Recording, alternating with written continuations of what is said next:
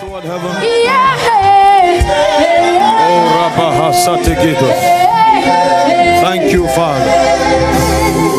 Lift your hands toward heaven and give him praise. Honor the Lord. Bless his holy name. Give him praise. Give him glory. Give him praise. Give him glory. Thank you, Father. We bless your name.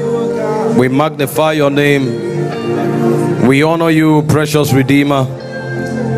Thank you for your love. Thank you for your kindness. Thank you for your patience with us, Father. Thank you for the help of your Spirit, the enablement that comes by your word. Thank you for the transformations from glory to glory. Thank you for the transfigurations. Father, we bless you for access, access to your secrets, access to your realm, access to your light. Thank you, Lord, for helping us to conform even as we are instructed by your Spirit. And thank you for empowerment, Father. You are sending us from place to place to represent you and to establish your government. It's not by power, it's not by might, it's by the Spirit of the living God. And so tonight, even as we congregate, Lord, we say, Let your name alone be glorified. And we say, Lord, have your way in our midst. In Jesus' precious name. In the precious name of Jesus Christ. Hmm. I release the sound of the heavens, the sound of creation. Release the sound of the heavens, the sound of creation. Yahweh is here. We cry, Holy, Holy, Holy, unto Yeshua. Shekinah is here. We cry, Holy, Holy, Holy, unto Yeshua. Yahweh is here. Yahweh, Yahweh,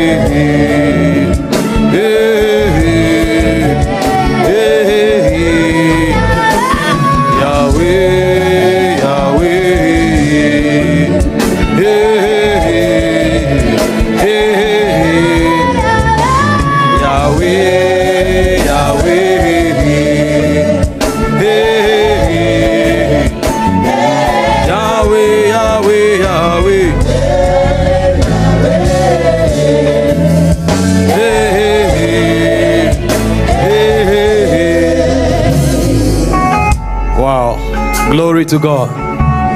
Praise Jesus. Thank you, Father. Thank you, Lord. In Jesus' precious name. You may be seated. We are pressed for time. Glory to God. Praise Jesus. Praise the Lord. How many of you are excited to be in God's presence? Glory to God. You better be excited because this is what you will do forever and ever. you better learn to love the presence of God because that's the biggest reward of heaven. That's what we will do, that's where we will be forever and ever. So if you don't love the presence of God, then you may just be on your way to Hades. Because in eternity, that will be the only place that is not dominated by the presence of God. So if you don't love God's presence, perhaps you love somewhere else. but it's not your portion. I know these are lovers of God's presence. Do I have a witness in the house? Come on. You know, there are people who come to God's presence, they are looking at time, they are they can't sit in one place, they want to go out, distract themselves a bit. You may just be preparing yourself for hell. You have to learn to love the presence of God because this is your your abode for all eternity. But glory to God, we don't just love God's presence, we carry God's presence. We carry God's presence. You know, we are the ark of the New Testament. We carry the presence.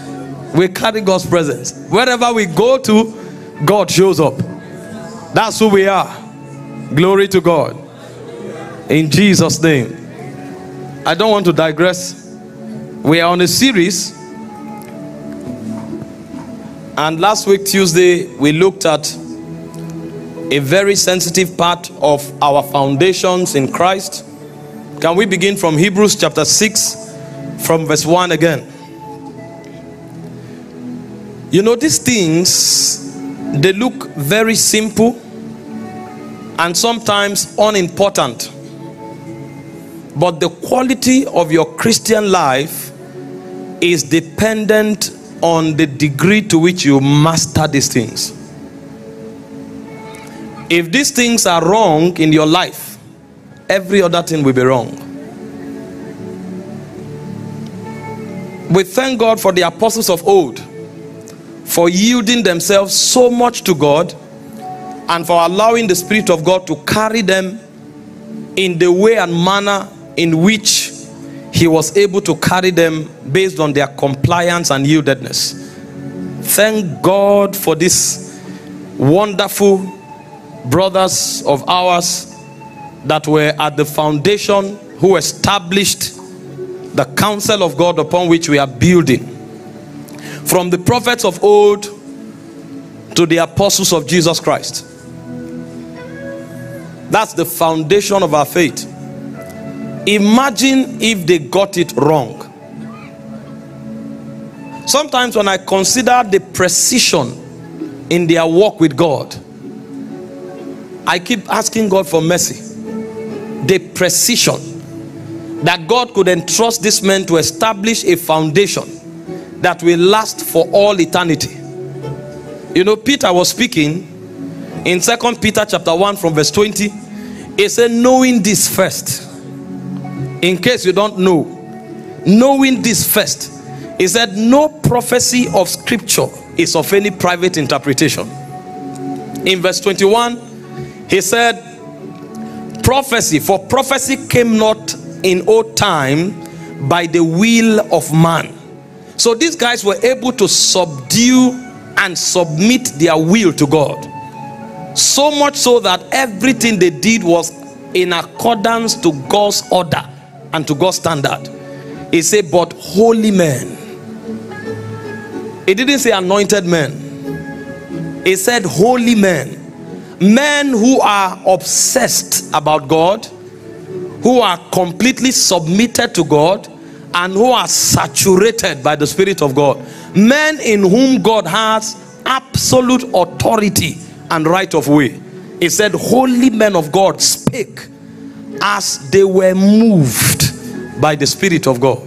Every word they spoke was exact with highest level precision. You wonder the mistakes we make in one day Amazing. Emmanuel, saturate my heart, cause an overflow. Oh, Emmanuel, saturate my heart, cause an overflow. Oh, Emmanuel, saturate, saturate my heart cause an overflow. Oh, Emmanuel. The Bible said, Holy men spake as they were carried. So they came to a level of precision where there was no error. And so the things they uttered cannot be edited.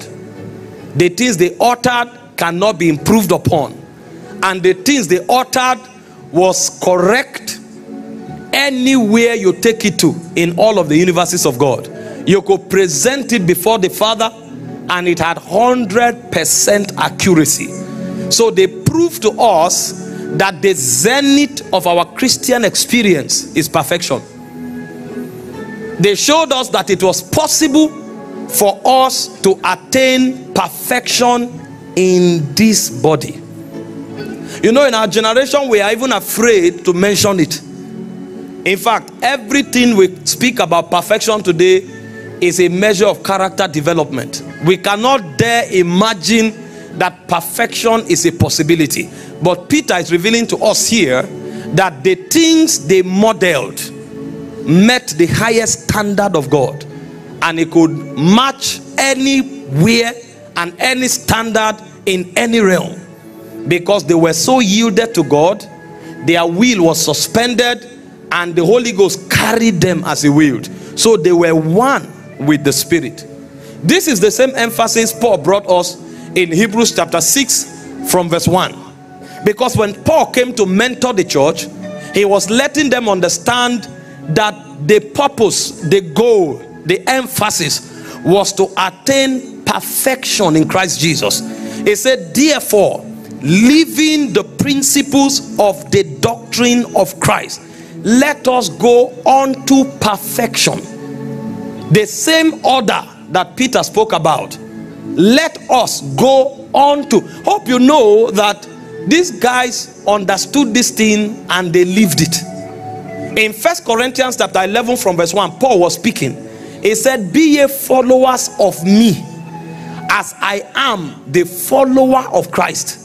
I have modeled Christ to a perfection, a perfect standard that if you follow me, you can't miss Christ standard. That is the level of perfection these guys modeled. And Paul is saying one of the major responsibility of a minister is first of all to press on to perfection and then to also mentor his followers to attain that level of perfection. So he said, I am following Christ perfectly.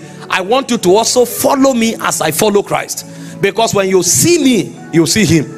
John reiterated the same emphasis in First John 4 17. He said, As he is, he said, So are we in this world, not in heaven. As he is, so are we in this world. So Paul is telling us that there is no glory in our Christian experience if we cannot mature to a point where we reveal Jesus Christ. So much so that when you encounter us, it's as good as though you have encountered Christ.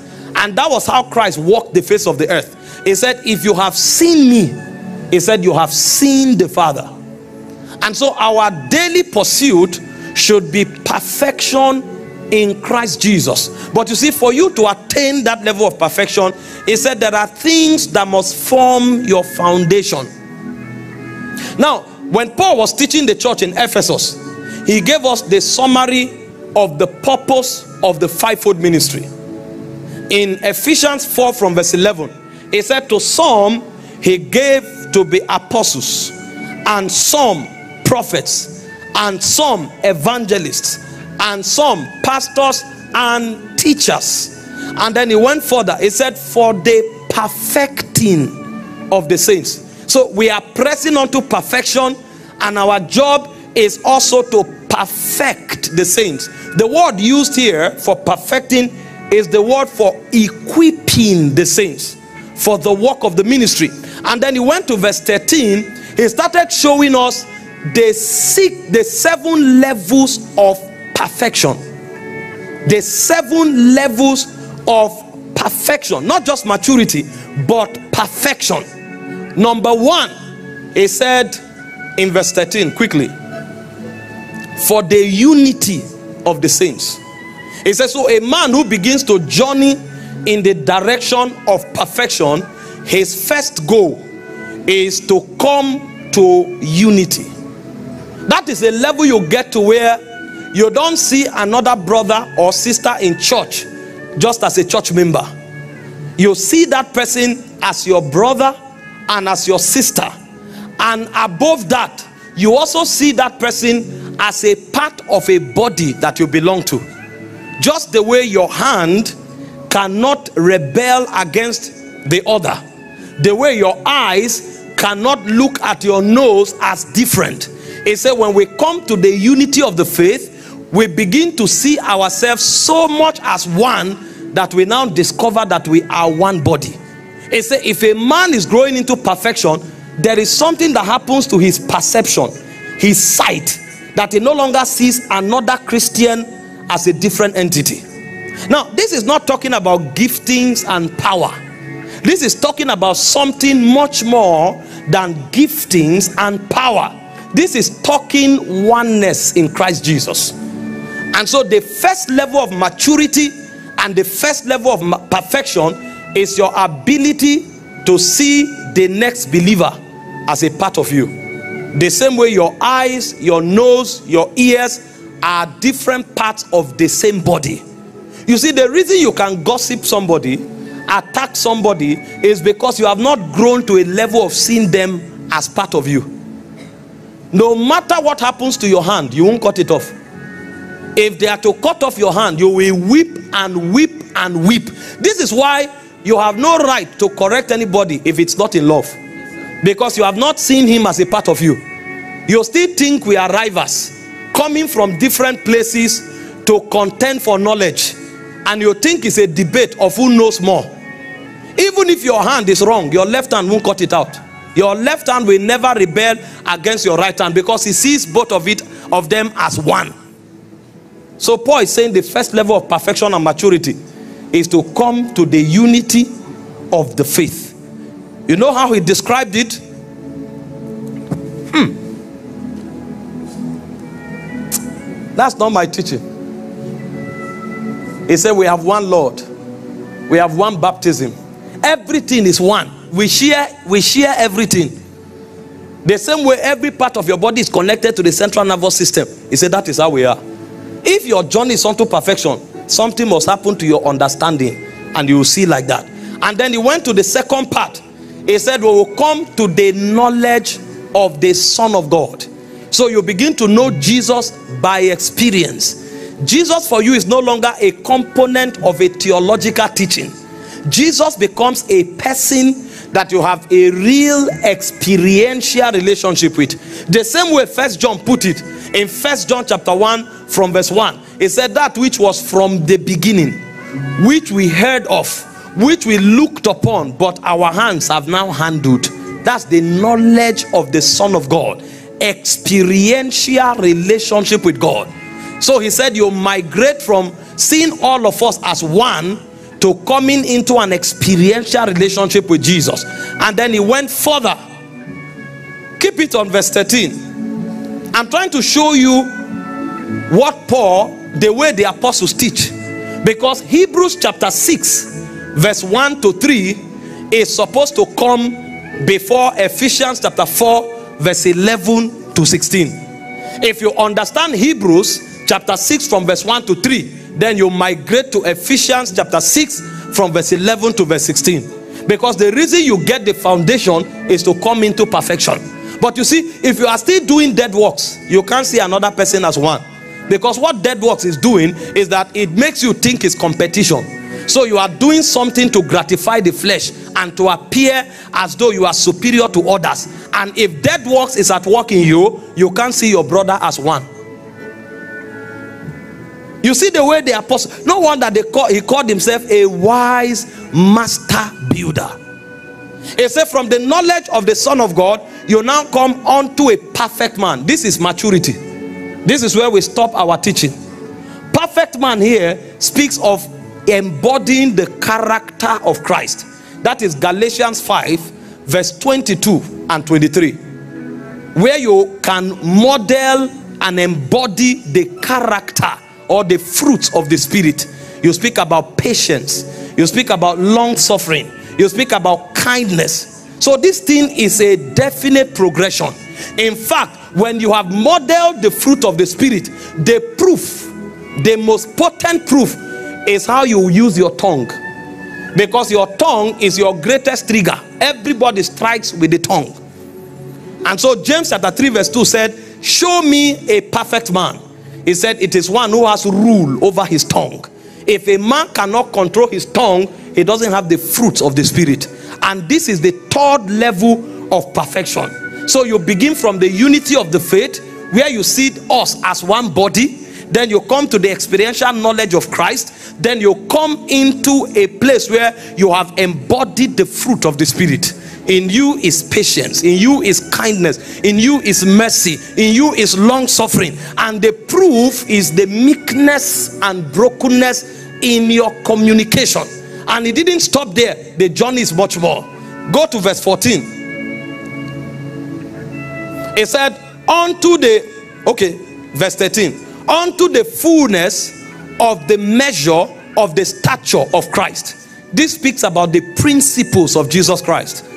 So now that you have embodied the character of Jesus, you don't just do things haphazardly, you do things the God way. Because there are many people who don't understand the way God does things. That's why you hear teachings like the teachings on honor, you hear teachings on so many things on giving. You now begin to practice the ways of God. There are many things you'd have loved to do your own way, but you no longer have the liberty to do things the way you want. You do it the God way.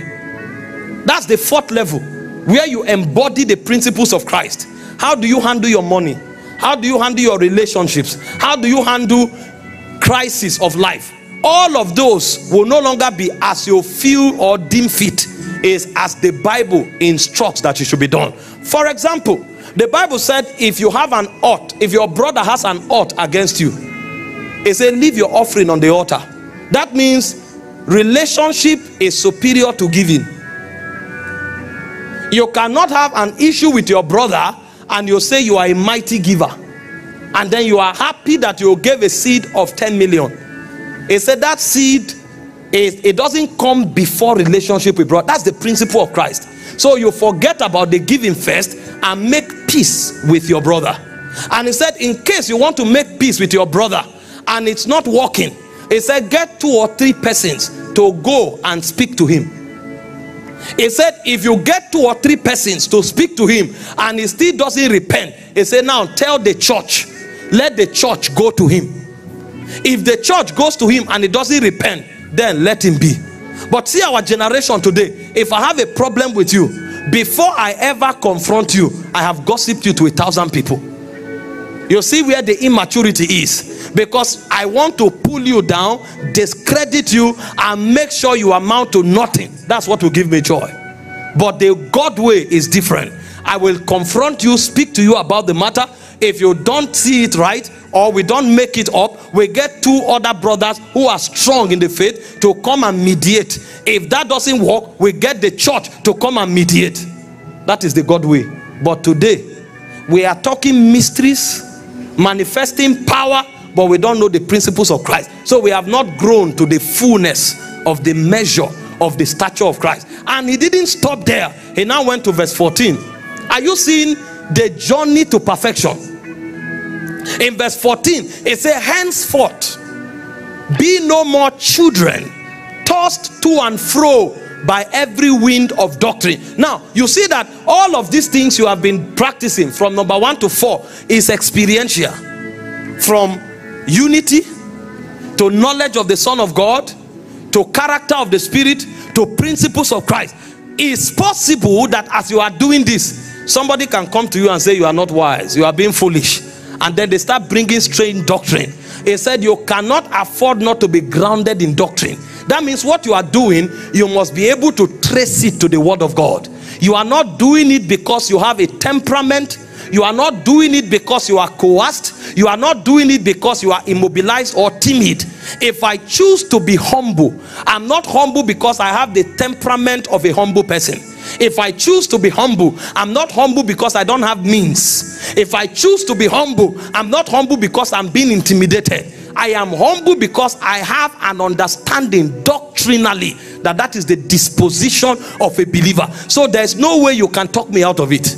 If I choose to give for kingdom advancement, you can't coerce me to give, you can't boost my ego to give, neither can you discourage me from giving because that action you see me practicing is a product of a thorough and deep understanding of the word of God. But you see, when people are not mature, they take actions based on impulses. And so when they come for a service and they preach on giving, they empty their money. The next five years, they are not giving because they don't have a deep revelation and they can give in that service as they walked out somebody heard what they gave and said what even you too they have brainwashed you and immediately the person starts regretting why he gave that money because he's not doing it based on revelation You find people spend their time in prayer as they are praying. Somebody else comes and tells them, Forget this prayer thing. God, relax. It's not prayer. Walk with your hand. They stop prayer, they start walking. Tomorrow they are walking. Somebody else comes to them and say, You will walk and kill yourself. Oh, better go and pray. They leave work and go to the altar because they are not grounded. If they understand doctrine, they will know the place of balance. Because on one hand, you have to walk, on another hand, you have to trust the Lord. Because there's no spirit that blesses a man who has no works. But when there is no doctrine, he said, You are children tossed to and fro. So the reason a man will remain in the path of perfection is because there is a groundedness in doctrine. And he didn't stop there. He went further. He now entered a heavier matter. Verse 15. It said, But speaking, now the real matter has come out. Speaking the truth in love. That's the sixth level of perfection when love becomes your operating system, know that you are beginning to approach Christ. Because the nature of Christ is love. The Bible said in First John 4 8, it said, God is love. Love is the summary and the totality of the nature of God. Now, when you start journeying with God, you will discover that your journey will begin from knowledge into power, into love. Love is the highest level of our operation on earth. There are many persons who assume that the highest level of spiritual operation is knowledge. Paul said, I can speak all mysteries. I know all mysteries and I can speak with the tongues of angels. He said, If I have not love, I am but a clanging cymbal. So, the lowest level of our spiritual engagement is access to spiritual knowledge. You may have mysteries, but if your mysteries does not translate to power, the devil will make a mess of you. Have you seen people that talk all the mystery on finances, yet they are poor? Have you seen people that talk all the mystery on power, yet there is no demonstration of power? Have you seen people that talk all the mysteries in the scripture, but when you look at their lives, there is no proof? Because from knowledge, you are supposed to get into power. The proof that you know is that you have power. They say, I'm not ashamed of the gospel of Christ, it is the power of God unto salvation. So our journey is knowledge, then power. But when you come into power and you remain there, the devil can use you as a slave. The devil can use you as a servant. And so when you come into power, you move from power to love. And so when Paul was teaching us about the journey of perfection, he said the sixth level of perfection is when you come into love. And this love is not just something you claim to have it is revealed by your action. It said, when you speak, what we perceive from your speaking should be love. And it doesn't even end with just speaking, it should be communicated through your action. How can you say you are a giver and there is a poor man in your house who has nothing? Yes, you are the highest partner in church. You are a hypocrite. You are a religious man. If you have a heart for giving, before you become the highest partner in church, you should have noticed that Lazarus at your gate. Because if your heart does not move towards that Lazarus at your gate, what you are doing in your church is religion. I saw a man, I was with watching something with my wife recently, and a man almost killed his own child. Why? Because the child did something that affected his reputation in church. He's a deacon. It's not about character, it's not about pleasing Christ, it's about his ego. I'm a deacon in church. How can this person do this kind of thing? Ha! I've been demoted from my office of a deacon. There's no forgiveness, there's no love of God, there's no teaching the truth in love, there's no correcting the child. It doesn't even matter whether the child is destroyed, so long as his deaconship is preserved. Religion in Africa. Paul said, when you start coming to perfection, you will get to a place where love will imprison you. You will become a prisoner of the love of God. And anything you do, your greatest motivation will be the love of God. That's what informs every action of God. There's no action God takes that is not motivated by love. He said, For God so loved the world that he gave his only begotten son. Every action God takes is motivated by love. And a man cannot function in love and be in error. The Bible said there is no law against love. There is no law against love. When love is in motion, the law is kept. In fact, the fulfillment of the law is the ability to manifest love. Because when love shows up, the law is, is put away. Because if you walk in love, you will keep the law. And then finally, Paul began to talk about perfection. He said that we may grow up into Him. This is where perfection comes in. When we come into love, he said the next thing that will happen is that we will grow up into Him in all things, which is the head, even Christ. When we can grow to the level of love, he said we will grow into Christ in all things. So we will become exactly like the head. So it's possible for a believer to walk on earth, earth exactly like Jesus Christ. But they will first of all migrate from unity into the knowledge of the Son of God, into a perfect man, which speaks of character, into the fullness of the measure of the stature of Christ, which speaks of principles, into an established place in doctrine, not tossed to and fro or deceived by the craftiness of men, into the place of love, which is the nature and the motivation of God. Then he will grow into Christ in all things. This is the pursuit of every apostle and this is the burden in the heart of every genuine minister to bring those who follow him not to become like him, but to become like Christ. And if the apostolic move we get it right, this must be our focus. This must be our focus. There's a place where your followers try to be like you. You are inspiring them there's nothing wrong, but they will have to grow beyond that place. Otherwise, they'll become hypocrites and sycophants. You know, Paul said, Be a followers of me, even as I'm the follower of Christ. A point will come when you will find your place in Christ. A point, that point must come. If that point does not come when Christ takes over his church, then we will receive the church from Christ, and that church will belong to the world. Perfection. This is the goal, this is the burden in the heart of God. When we see you, what is the Christ dimension you carry? From knowledge to power to love. Don't think when we talk about the dimension of Christ, it stops only at the level of knowledge. You can be at the level of knowledge where you can teach mysteries. You can be at the level of knowledge where you know all things. You can be at the level of knowledge where you can answer hard questions and hard sentences because there was no question they asked Christ that they didn't have answers for. But you must also migrate from the level of knowledge to the level of power. And then we must see a dimension of God in you. Either you are walking in healing dimension or you are walking in financial power or you are walking in influence and governmental authority, but that's still not the end. You must migrate into love. And so in you, we must find the attributes of patience, of kindness, of gentleness, of faithfulness. You must migrate to love before you can grow into Him in all things. But you see, Paul said all of these things will be impossible except as we understand the foundations, foundational doctrine that is in Christ Jesus. And the first of that doctrine, Paul called it repentance from dead works. And we took our time to deal with that thoroughly last Tuesday.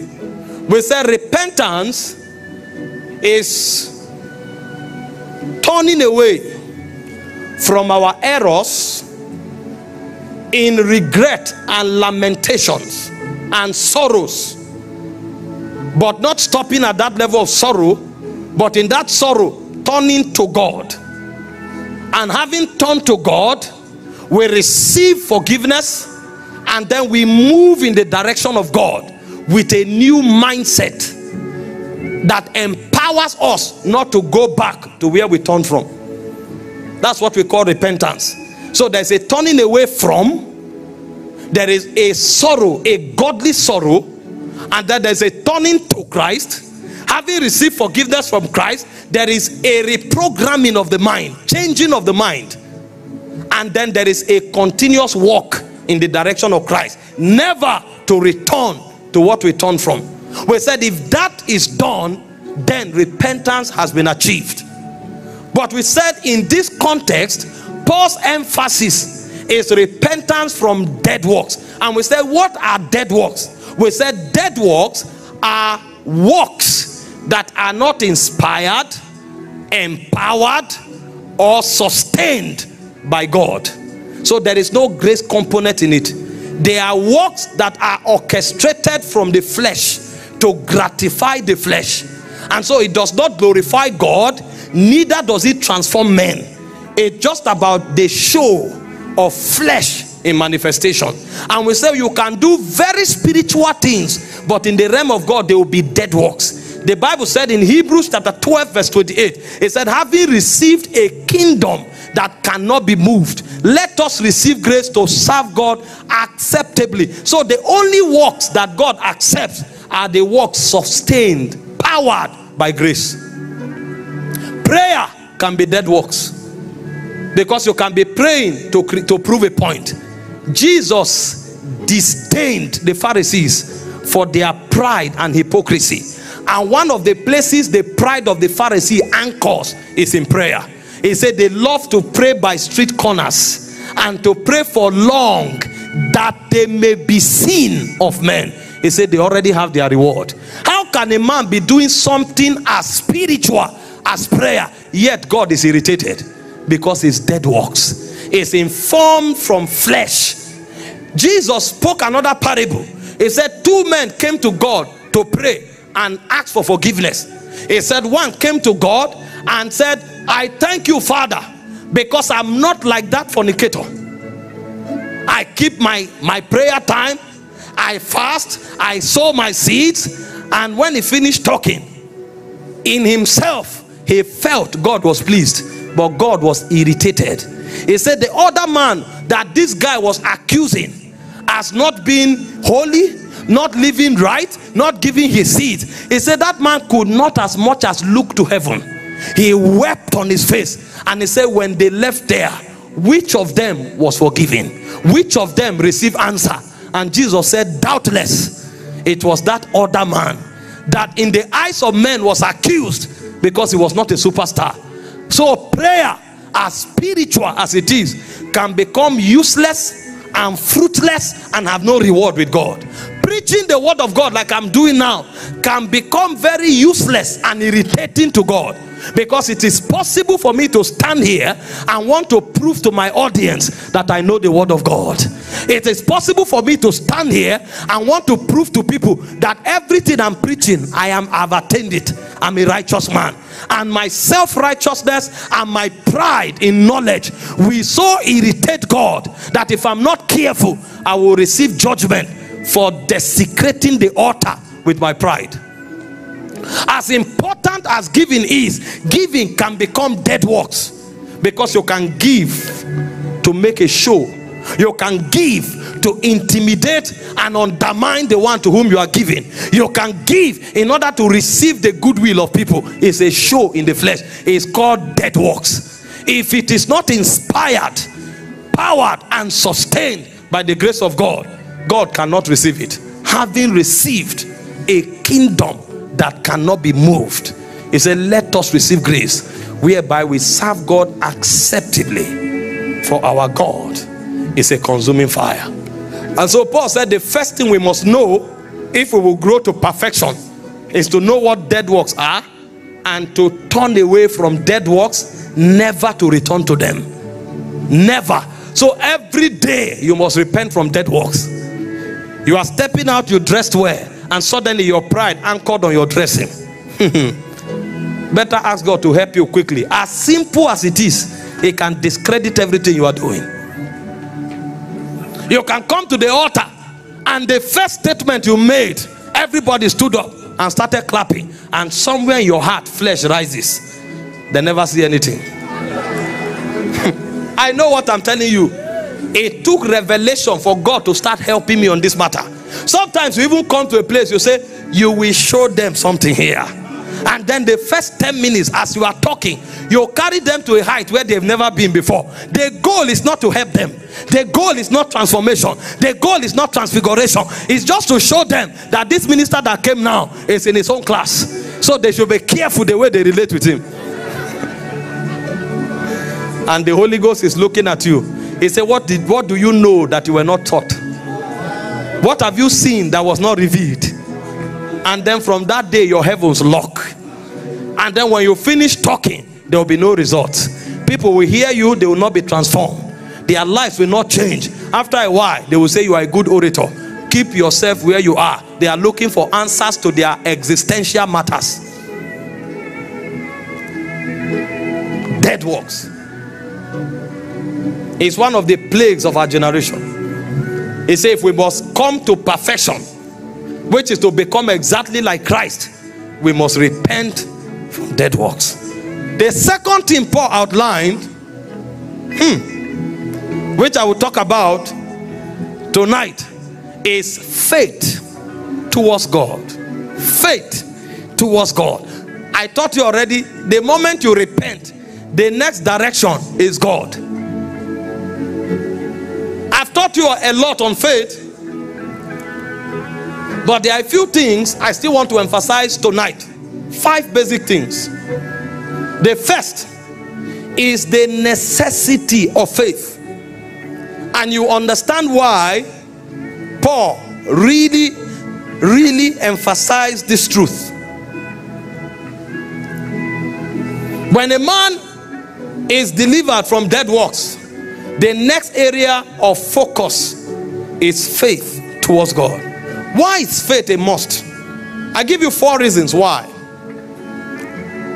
The chiefest of them, number one, is that there is no way known in scriptures that God can be pleased outside faith. So if you really want to do business with God, if you really want God to be pleased at what you are doing, if God's disposition matters to you, then you must walk the path of it. In Hebrews chapter 11, verse 6, the Bible said, without faith, it's impossible. It's impossible. That means prayer doesn't please God, fasting doesn't please God, singing doesn't please God, except as it is done in faith. So every other thing we are doing must have their foundation on the bedrock of faith. He said, without faith, it's impossible to please him. He said, For whoever cometh to him must first of all believe that he is, and that is the rewarder of them that diligently seek him. So, the reason faith is necessary and faith is a must is because only by faith can God be pleased. And I don't know what your ambition is as a Christian, but if at the foundation of your ambition pleasing God is not there, you don't know what Christianity is about. When John went to heaven and he heard the 20 and 4 elders worshiping God, the highest level of worship ever recorded in scripture, apart from the, of course, the surrendering service of Christ at Gethsemane, the highest worship ever done by creatures we saw the summary of that worship in Revelations chapter 4, verse 11. The Bible said they were worshiping, and what did they say? It said, Thou art worthy, O Lord, to receive glory and honor and power. It said, For thou hast created all things, and for thy pleasure they were created. This is the scripture that summarized the purpose of all creation. It said everything was created to give pleasure to God. And so, if you want to please God and fulfill the essence and the purpose of creation, then faith must become your way of life. So, the reason faith is a must for every believer is because faith is the only way God can be pleased. Number two, why is faith a must? Kadosh, Kadosh, you are mighty on your throne. Why is faith a must? Number two, you cannot overcome in this world without faith. The Bible said in First John chapter 5, verse 4, it said, Whatsoever is born of God overcometh the world. It said, This is the victory that overcomes the world, even our faith. So our faith is the victory that overcomes the world. That's why the moment you got born again, God had to inject faith into your spirit.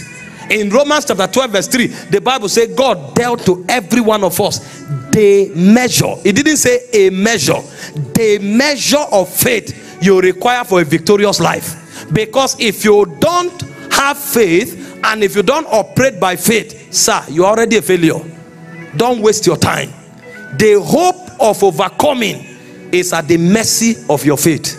Have you seen people who pray and fail? Have you seen people who fast and fail? Have you seen people who give and fail because they don't know the place of faith? Anybody you see a champion on earth, go and check. He understands the language of faith. He understands the way of faith. He understands the spirit of faith. He understands the word of faith. That is the victory. Hear me. Without faith, you will fail no matter who you know. And I will show you in scripture. Jesus was with someone in Luke, I think chapter 8, verse 50. Here's what the Bible said. Luke 8 50. This is God standing with a man. They sent a message because he went to invite God that's where prayer works. To come and answer a problem. A little one was sick, and God was on his way coming in majesty. And suddenly they sent a message Trouble not the master. He said, The young girl is dead. Immediately, Jesus turned to her, to the man. He said, Fear not, only believe. If you fear, God will be here, nothing will happen. Fear not, only believe. If God helps you to overcome outside faith, knows that two things happen. Number one, his mercy, and number two, his sovereignty. Outside of faith, you are finished. Jesus looked at Peter. They saw him. They said it's a ghost. And he said, No, it's I. And Peter said, If it be thou, bid me come. And Jesus said, Come. And Peter was coming. And suddenly the Bible said he turned back saw the wind and the wave boisterous and peter began to sink, sink in the presence of god that means without faith the presence of god can't do much i know the glory of the presence of god but without faith the presence of god can't do much unless his mercy and his sovereignty goes to work and immediately jesus rushed to catch him because if jesus doesn't rush he will sink and he caught him and pulled him up. He said, Why did you doubt? My presence will be useless to you if you don't have faith. Have you seen, brethren? They pray, they are feeling the anointing. They are they carry the presence of God. They can they know they you can cut it, they are feeling it tangibly, but they are defeated in life helplessly as though the whole prayer enterprise was useless. It's because there was no faith at the foundation. Faith is a must. Tell somebody faith is a must. You reign, you ancient Zion's king, Kadosh, Kadosh.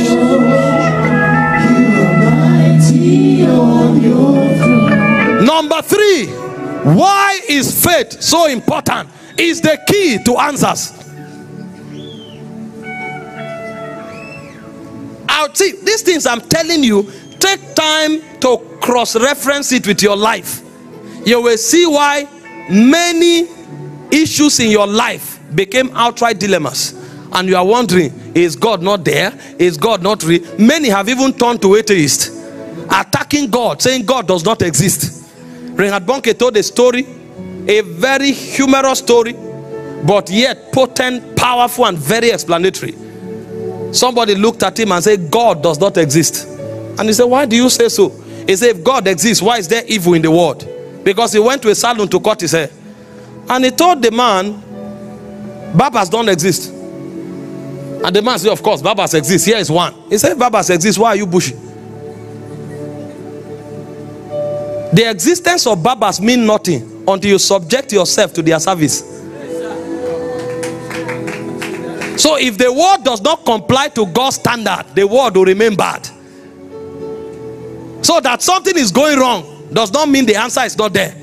You take the answer, and the way to take the answer is by faith. Jesus came to Lazarus's tomb, and they were weeping. John chapter 11. If you were here, our brother would not have died. If you were here, and Jesus told them something that was so powerful. I don't have to be here in person for your brother to be saved. I don't have to be here. You know what he told them? Have I not told you before? If thou wouldest believe, thou shouldest see the glory of God. So, anybody who believes doesn't need God to be physically present to have the answers he would have had if God were there. So, when we walk by faith, it means we are carrying God into every circumstance. And because Jesus was on earth at the time, he did what they should have done if they had faith. He said, This glory you are about to see, if thou wouldest believe, thou shouldest see it. So this glory does not only manifest when I'm around. These answers does not only come when I'm around. These answers are present anywhere, anytime there is faith. It is the key to answers. And many persons don't have answers and they are asking themselves why. The answer to your answerless prayer is lack of faith. The moment faith is born, answers will become byproducts. In fact, one of the proof that you have faith is that answers will come. It is natural for answers to respond to faith. And finally, why is faith a must? By God's wisdom, He prescribed faith as the way to live to everyone who is justified. The Bible said, The just shall live by faith. Habakkuk chapter 2, verse 4. Romans 1 17. Hebrews 10 38. The just shall live by faith. If you say you are justified, then God has already prescribed the path that you will follow. If you don't walk by faith, you will fail. The only reason the impact of your justification will show is when you start living by faith. In second, second Corinthians 5 7, it said, We walk by faith, not by feelings, not by sensory perception. There are many believers who walk by feelings. Listen, feelings are good, they are the test boards of life. But you see, your existence must be superior to feelings. Otherwise, your life will fluctuate and vasculate in the direction of your feeling. Sometimes I see our brethren here praying, and I'm just smiling. I'm just smiling because I know they are still growing. When they grow, they will understand prayer is not about what, what they feel. Prayer is not even about the excitement of the audience. When you see young believers praying, they are under pressure to have a feeling. So much pressure. And when that pressure becomes so much, they want to see the congregation excited. But the whole idea about prayer is to commune with God. Get God. When you get God, the byproduct from God is what the congregation is looking for. But you see, if you are not careful, instead of praying to God, you start praying to the congregation. Meleke, Meleke, come here. You need to ascend here. You need to. Iaga, iaga. It's pressure. It's pressure. It's pressure. There are days when, see, I tell you, this thing is called speaking in tongues. It's not shouting in tongues. When the energy grows in you, you can shout, but you are is is a move of the spirit. And there are times when the energy will be calm, even you know, and you will flow with the spirit. But when you are operating by feelings, you think every day it must be ilakabaga, ilakabaga. Ah, when you grow, you will know. You will know that this thing is about the move of the spirit. And the whole goal is to touch God. When you touch God, God will touch down. God will touch the people. And that's what makes the difference. Otherwise, a point will come when you will reprogram the mindset of the people. And you know the danger? They will be doing it thinking they are touching God. They are not. It's after five years, seven years, 10 years, the frustrations of their lives will show them they never encountered or engaged God. Why do you think I'm very careful? Most times I pray alone, and I saw that in Jesus' life. He will go to a separate place and he's praying because people are just watching you to do something so that they will copy. If I come here now and I start praying like this, after one month, all these young men will start Elakaba, Ragaba, Ragaba, and before you know it, will become a trend. And because they follow me so closely, and there is an emotional connect between me and them, it will become a trend. And because I want my signature over a generation, I will push it and push it. But after 10 years, their frustration will show them that they wasted their time. I'm not against any disposition, I've told you before, but I persuade people follow the move of the spirit.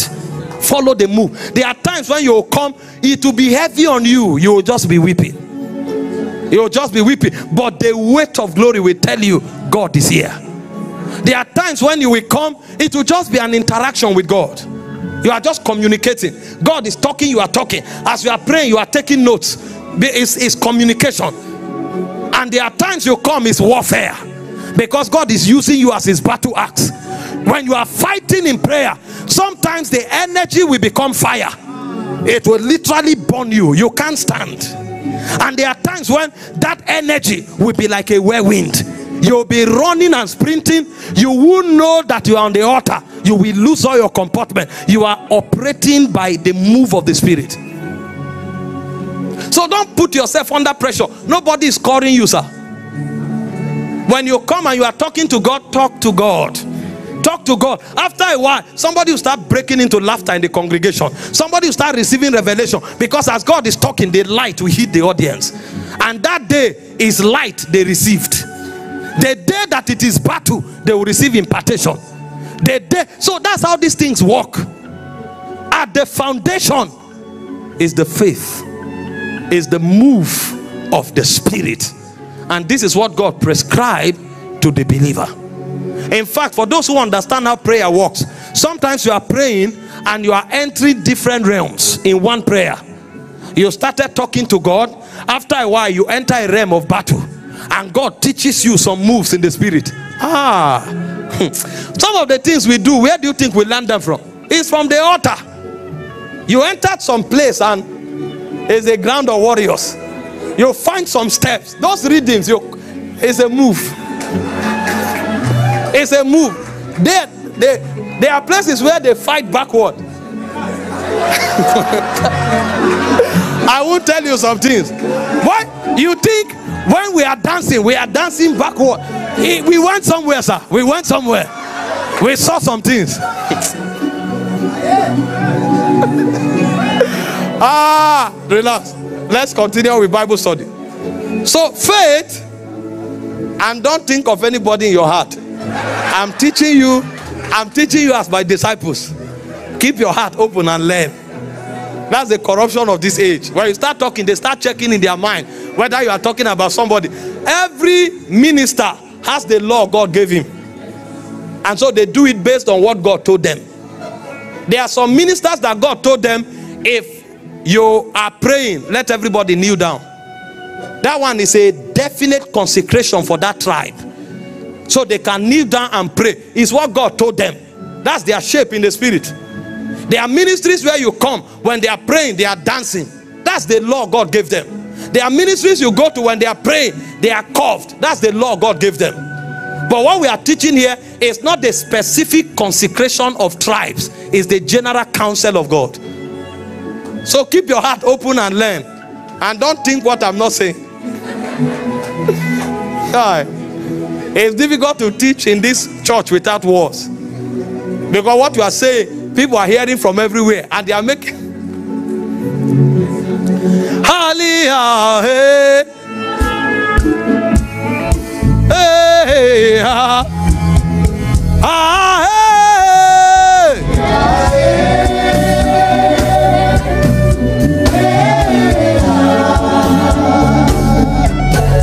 Hallelujah.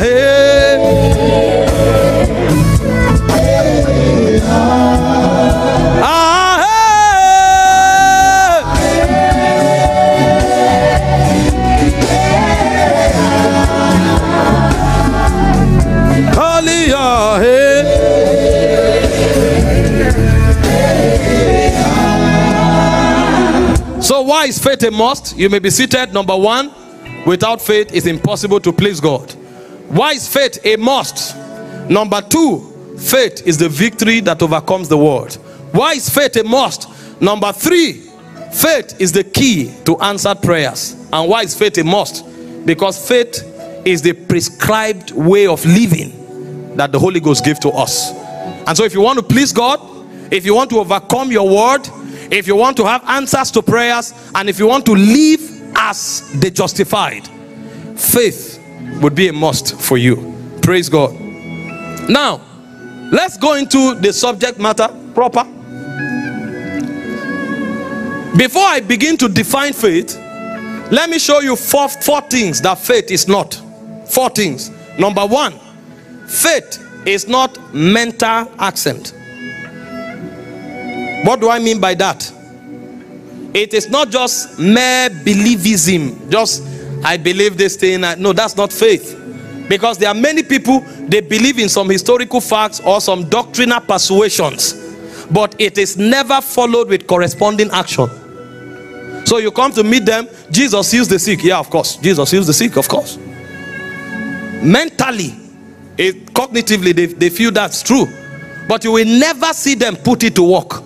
When they are sick, the first place they run to is a doctor. The Jesus that heals the sick, they will never talk to him. Because they have no expectation for healing and they don't believe Jesus will heal them. Meanwhile, they, they, they understand that doctrine, all of that is mental, it's not of the heart. When you see a man who believe in a historical fact or a doctrinal persuasion, but he doesn't follow it up with action, that man doesn't have faith. It's a mental assent. It is mere believism. Jesus prospers, but you will never see him trust God or learn how God prospers men and apply it. Yes, the Lord prospers, but everything he's doing about his prosperity are the principles of business he learned from Netherlands Business School or Lagos Business School. You will never see him put his faith to work for prosperity. They say consecration, he's not there. They say giving, he's not there. They say covenant, he's not there. But he believes more than anybody that God prospers. He can even fight for that belief.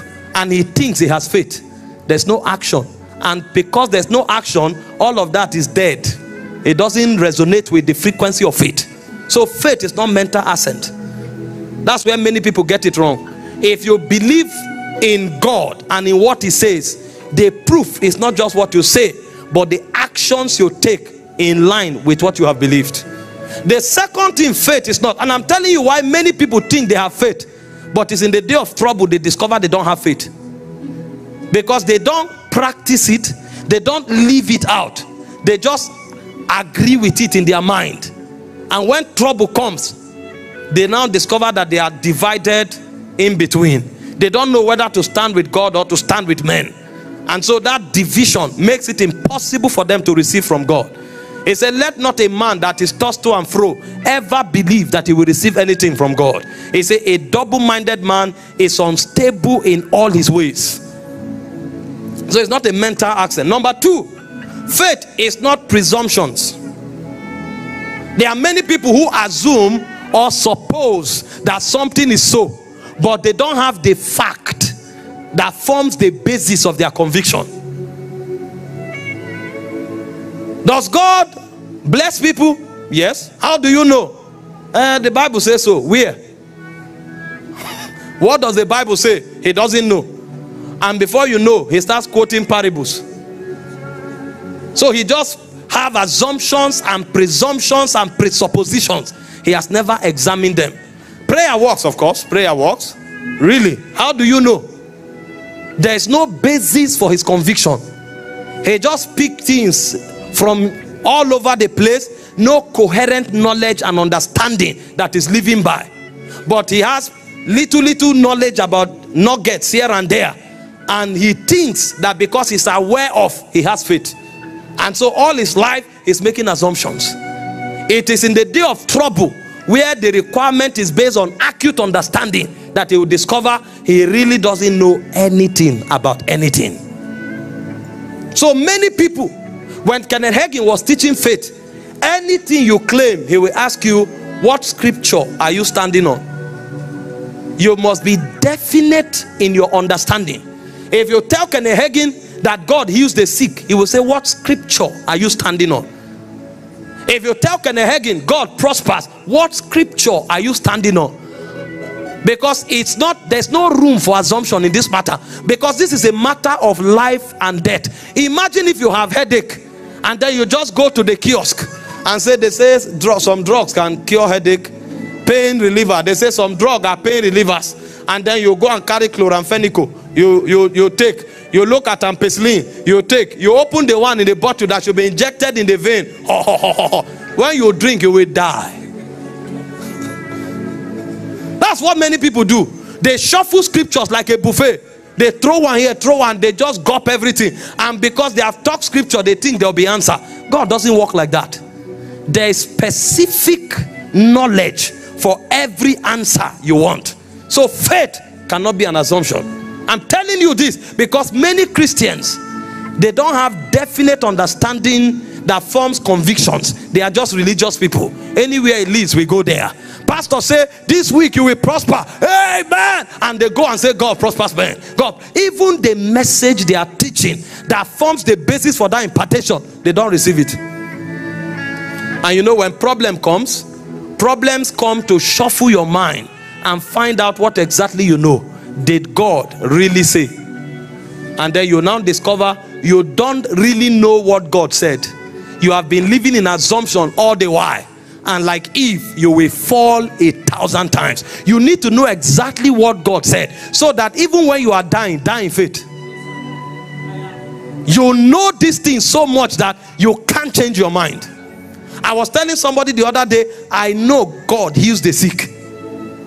I'm not planning to die, but if I'm on the sick bed now, you can't make me change my conviction.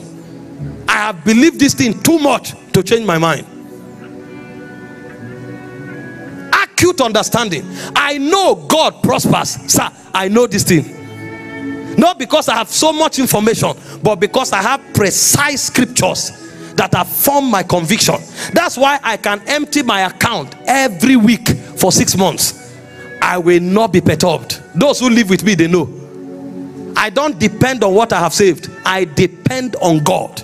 I'm not saying anything is wrong with saving, but I know this thing so much that to empty myself is not a prayer point. When the Bible said, Those who come grieving with precious seeds shall doubtless return, bringing in their sheaves. I say, Some of us have grown past that level. There is nothing precious that will carry to the altar grieving anymore. There is nothing I will bring to the altar grieving anymore. I have passed there, sir.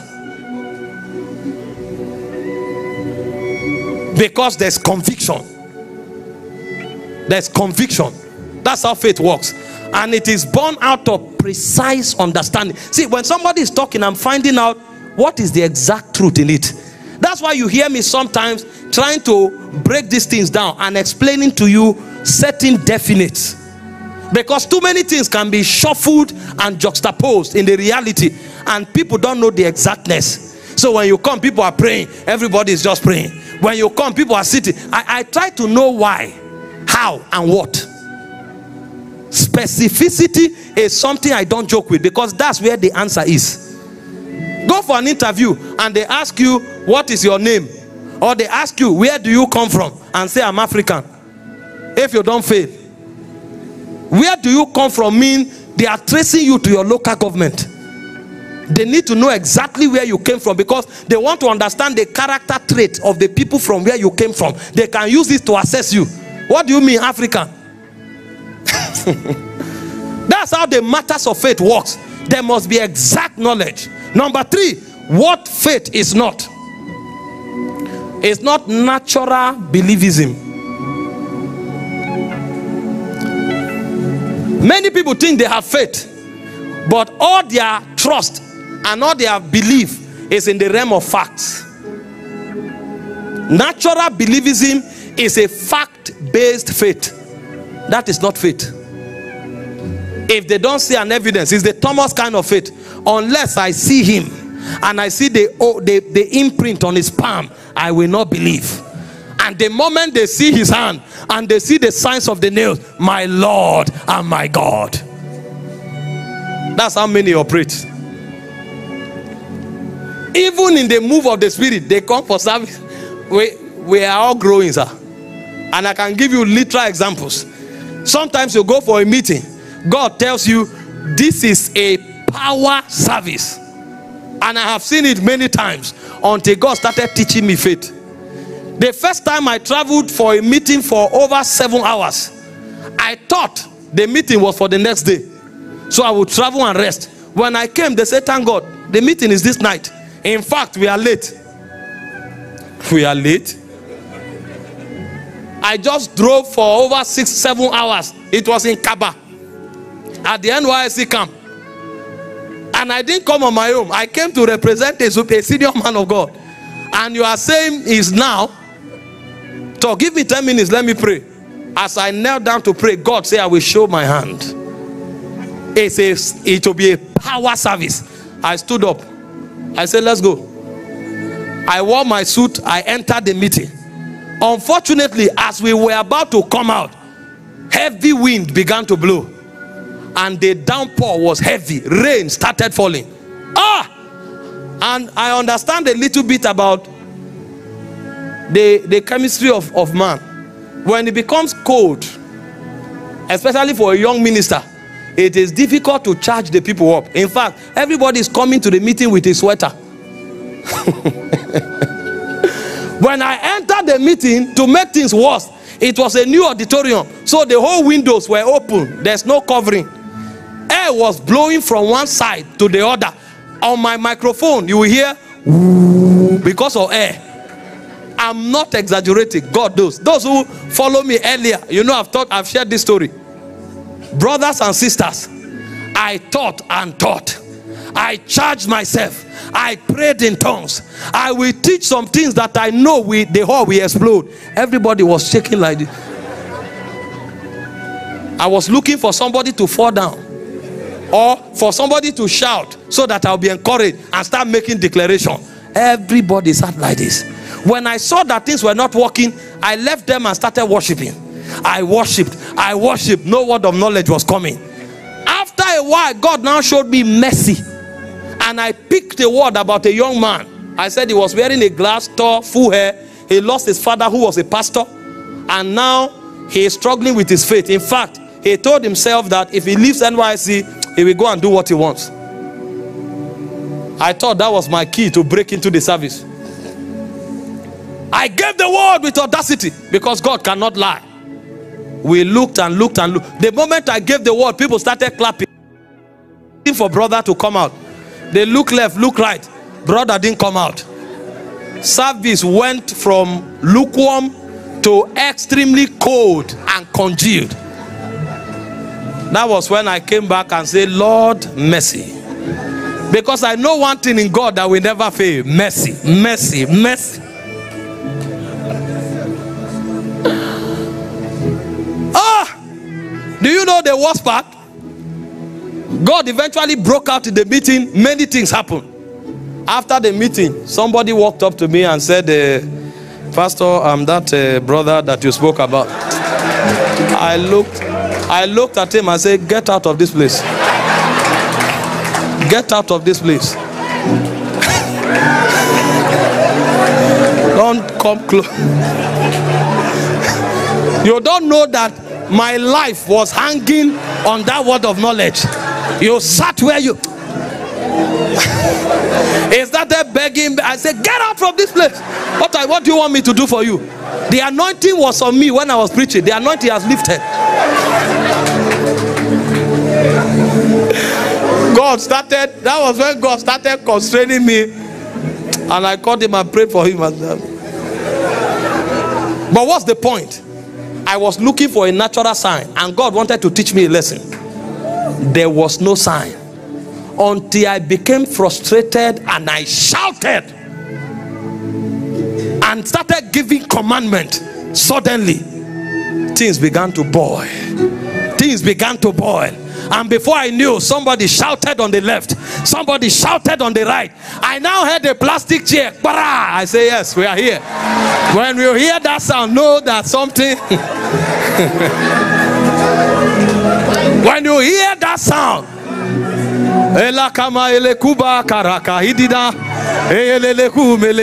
You, you, you enter your warrior katoa. That was when I told them I came in the spirit of Elijah. Baraka zaka tata. God told me he will show his hand. Oh yeah, yeah, yeah, yeah. I came alive. But you see, God was teaching me look for the sign of the spirit, not the facts. The facts will lie. The facts can be manipulated. The God of this world controls the external, He can manipulate it. Moore was teaching us two weeks ago, and he said, Don't look at the natural. You know why? The Bible calls the devil the God of this world. That means he has authority to manipulate the natural. You told yourself when you see a red vehicle, it means God is in that meeting. The devil will make sure every driver with red vehicle will not come because he controls the external. You tell yourself if the person who wears white shirt and black trouser is the one I meet at the door, it means something will happen. Everybody with white and black will go to the back of the auditorium. That's why you don't look at the natural. No. He said, Why we look not at the things which are seen, but at the things that are unseen. He said, For the things that are seen, they are temporal, but the things that are unseen, they are eternal. Search the spirit, search it. That's where faith comes from. Search it in the spirit. And sometimes what you will sense in the spirit is just a strand. Strand. Strand. Aya. When that strand moves, it can be the sign of an abundance of rain. We are in the New Testament. God is no longer in heaven and we are reaching him. God has entered us. Elijah may look for a hand's fist in the cloud. He was in another dispensation. In our own dispensation, we look for the sign in our spirit. They told you that job, there are 500 candidates for the interview. Don't be perturbed. Check the spirit. As you are praying, you just sense peace. You just sense a note of victory. You just sense God. Say, Go forward. Sit there. Sit there. Heaven and earth will pass away. That word will stand.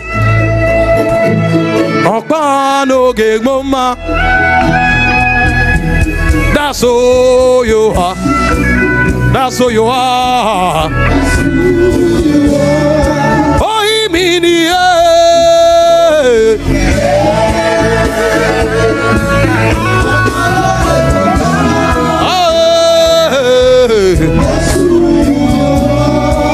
That's who you are.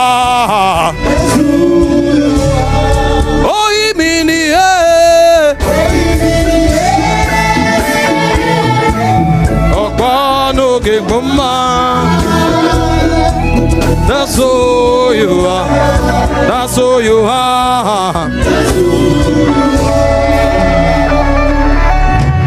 There are times when God can give you an external sign. But the reason the external sign will be valid will because there will first of all be an internal sign. If you miss that sign on the inside, what you are doing is not faith. It's natural believism. It's fact. Living by your senses and by your facts. Facts lie. Facts can be manipulated. And facts are under the influence of the God of this world. Sit down. We still have some 15 minutes. I need to run. The lasting faith is not a self-confidence. Many people are self-confident and charismatic and they assume that's faith. Because you are tall and broad on the chest and you have some very deep voice. That's good. it's not you, sir. I know you are an elegant man, boys. you come to a place with your suit and you say, you know, um, I'll, I'll see what I can do about that. It's good when you are doing your job for diplomatic relationship. But if you are looking for the intervention of a spirit, Natural confidence is a limitation. The moment you trust in yourself, you have lost. He said, We have this glory in earthen vessel, that the excellency might be of God and not of man. Many young ladies think they will be hot cakes in the market because they are tall and fair, or because they are dark and they are elegant, or because they have some kind of hairstyle. And then suddenly, when the race of marriage come, they now discover it is favor. Many young men are intelligent. They made first class, undergraduate, made first class, masters, made first class, PhD. And they think when they enter the market, everybody will be begging them. They will now hold that those three certificates for 10 years. 10 years. And then you ask them, they'll say, I have a PhD with first class, no job. You now discover that beyond that certificate, there are other forces that manipulate that tide. And then you see somebody else who made a tutu. And i'm not saying go and make tutu. Those of you who are students. Somebody who made tutu will suddenly become within the time when this one got phd that one will be an md of a company. And he will it's manager that will be hiring people. And the phd will be coming say give me the lowest rank available. The race is not to the swift neither is the battle to the strong. It is of god that showed mercy. Even ministry here there are many people who believe what do you mean? We are gifted. I can call people's names. I can profile people by the prophetic. Anywhere i go to the list that we have is 4000 people. Well done. And god will keep quiet. Some will look at you and say what do you mean? I'm a man of prayer if we enter that territory, we will uproot it. We will uproot it. Give us three months. God will be listening. Another one will come and say, No, utterance. The utterance I have, even kings can't resist me. Unless I don't carry a microphone. If I talk in that land, things will happen. Really. Then God will keep quiet. They will now commission themselves into ministry. And then they will be hoping that people, the territory will be so privileged that they came there. They'll be hoping that the moment people hear that they are there, everybody will gather. They will now be there prophesying. They will prophesy and prophesy and prophesy. Every three months, church will reshuffle. The 50 people that came, when all of them receive prophecies, they will now go. New people will come. After three years, they will still be 52. That's when he will go back to God and kneel down and say, The race is not to the swift the battle is not to the strong. He said, Bread is not to men of skill, it is God that showed mercy. You will pray there and pray there. The more you pray, the more you will hide. Because after all, the job of an intercessor is to hide. So as you are praying, you'll be hiding. And then somebody else who doesn't have even half your stamina will enter that city and he will become the star there. In fact, sometimes the way heaven will work the economy is that your prayer that ascends to heaven as vias and as stored in vias God will use it to push this other ministry because He's the boss of the company. you are in different departments. He said, God resists the proud, but He giveth more grace to the humble. You want to do something with a spirit, and you are standing on your physical strength, your natural ability. It's an insult on God. You despise His grace when you do that. How dare you think your prayer is the reason why people will come. How dare you think your prayer is the reason why? What do you mean? Outside God, do you think we are the only people who pray? You think because you are gifted, then you become a star, and even God will have no choice but to celebrate you. You are joking. Those who are wise, the first thing they try to do is to turn away from their natural abilities. Paul said, We are the circumcision that worship God in the spirit rejoicing in Christ Jesus, having no confidence in the flesh. The day you build your strength on your natural ability, you have separated yourself from God, and life will so buffet you.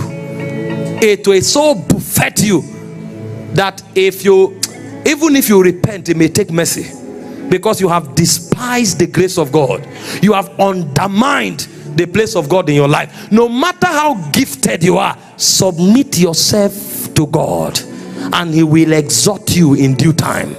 Never allow the deception. You are going into that business, you say, I'm charismatic, I'm this. Be joking. You will go there and see the different perfumes that people wear to that business. Some they carried it from the graveyard.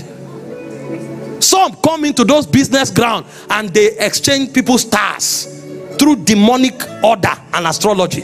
And you will enter that market, somebody will be prospering by the favor on your life. Because you have come as a giant and as a superstar. God will leave you to manifest your ability.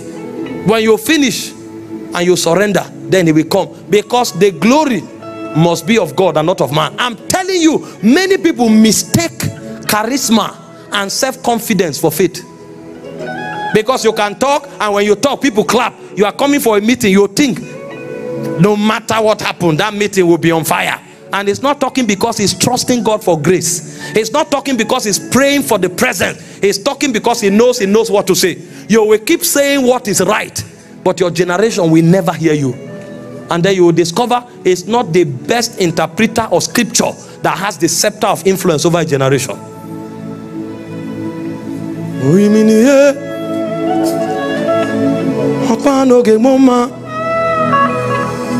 That's who you are.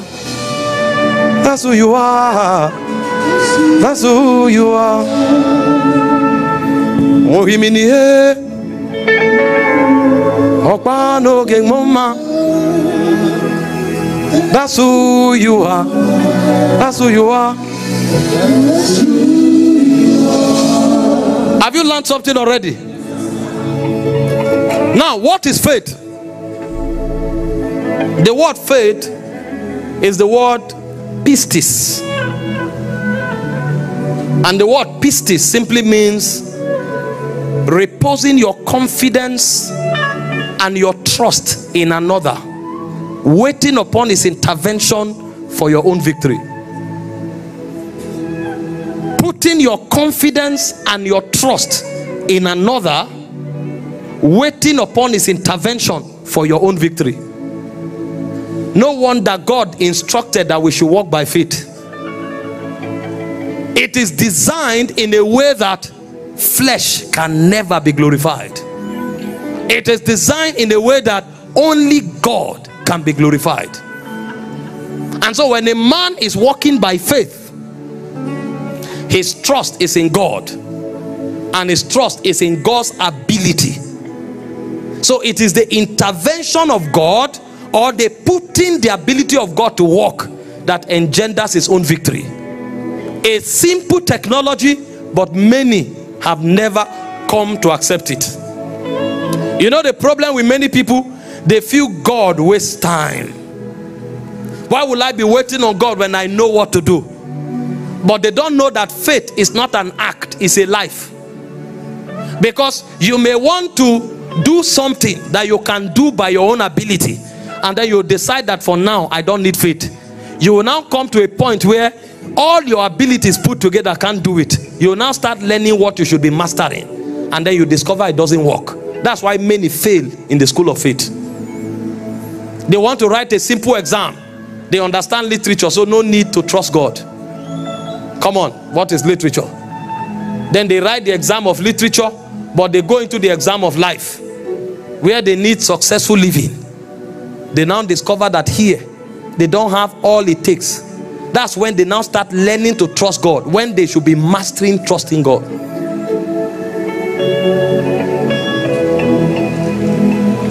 For faith to be faith three things must be in place. Number one there must be one in whom you trust or your trust is put. So you can't say you are walking by faith when you will not state clearly without contradiction whom your total confidence assurance and trust is in. Any man who is walking by faith can tell you without ambiguity that this is the source of all my answers and victory. There must be one in whom your trust rests. If that cannot be spelled out in your life you are not a man of faith. Number two for faith to be faith there must be a basis. And for us who are Christians, the basis of our faith are the promises of God, the nature of God, and the possibilities of God that He has assured us. So when you find a man who is walking by faith, he doesn't just come, and that's why I showed you what faith is not talking and floating in limbo. Anything he tells you, his assurance is either in God's character or in God's word, the integrity of God's word, or in the promises that God has made, or in the possibilities that God has affirmed. Those bases are the foundations of his faith. If I go to lay hands on the sick now, I'm not doing it because I'm being creative. I'm doing it because I believe in the integrity of the spoken word of Jesus. That when I lay hands on the sick, the sick shall recover. And so when I'm going to lay hands on the sick, if I am feeling powerful, that is good. But my feelings are not the basis of my action. So whether I feel it or I don't feel it, Jesus said, lay hands on the sick. So the basis for my action must be clear at all times. The reason many don't get the faith results is because they are taking actions that are baseless. When you speak with that audacity, what is he anchoring on? Is there a word for it? Is there something you know about God's nature? And I'm saying this the way I'm saying it so that you know this is not about quoting scriptures or memorizing scriptures. If you remember scriptures, that is good. But what we are talking about here is beyond the way King James is written. Because many people feel it's not faith until it is thou shalt. Beholdest thou. That's not what we are talking about. We are talking about God's position on every subject matter. And so if I know God's position, I stand where God is standing. And so I don't need to say, if thou layest thy hands on the sick, they shall recover. No. I can know it in pidgin English. If I put my hand on top sick person, in go recover it will produce the same result. It's not King James, it's God's position. That's the basis. Many people are trying to quote King James to feel powerful, but they are not standing where God is standing on the subject. So, even what they are saying, they don't know it and they don't believe it. So, there must be a basis. When you step out and you tell yourself, I must prosper, what is the basis? Is it because you went to a business school? Is it because they promised you a job? Is it because you have a rich father? Or because the Bible said Jesus, rich as he was, became poor that you may become rich? The basis must be clearly defined. Because when battles come, it is the basis that will be the contention. Because when the devil looks at you, he's not even moved by the action. He's trying to understand why you are doing what you are doing. And it must be very clear. If that becomes clear, there's no way your faith will not produce results. And then number three, what makes faith faith is that there must always be action. It's a faith without works is dead. And so there are many persons who are trying to live the faith life, but there is no clear definition of whom their confidence rests on. When they are making a decree, they are making a statement, part of that confidence is in their uncle who is a vice president or a senator. When they are making a decree on another time, part of their confidence is on their position on their job. When they are making a statement, part of their confidence is on the money somebody promised them. And so you see that their lives are scattered. Every other thing that brings success to your life is a channel God is using. And so, a man of faith, any day, anytime, in whatever context he speaks, his assurance is God. I showed you from Psalm 23, verse 1 last on Sunday. The psalmist said, The Lord is my shepherd. He had strong warriors, he was a king, he was he had he had experienced himself, but there was no time he said anything. Listen, every time you take action, ask yourself, Am I saying this because of my savings? Am I saying this because of my position on my job? Am I saying this because of somebody who promised me? Am I saying this because of a friend? Am I saying this because a man of faith, 100 over 100, every time he's talking or doing anything, it is God and God only. He sees every other person, system, or thing as a channel. There will never be a time when the place of God will be in contention. And a man of faith, for every action he takes, there's a basis for it. Either because of what he knows about the nature of God, or because of a promise he's standing on, or because of a revelation from the word of God. If you are there, you are safe. And finally, a man of faith will always cap all he does with corresponding action. He said, Thou believest that there's only one God. James 2 19. He said, Thou doest well. He said, The devil also believes and trembles. He said, But O ye vain man, knowest not thou that faith without works is dead? And in verse 26, he said, For as the body without the spirit is dead, he said, Also faith without works is dead. So even if you believe God, you stand on his word or his nature. If you don't have action, you are not in faith. These are the three things or the three triangle that completes the circuit of faith. Is this not simple? But when you walk through life, you discover it's hard. Because many times when we confront issues, we confront them because of what our friends promised us. Many times when we confront issues, we confront them because of where we are walking. Don't you know sometimes the way we are excited when we are promoted in life is because we think our levels have changed. What you do in life doesn't change your level. The promotion you get on your job does not change your level. Your level is what God calls you part time.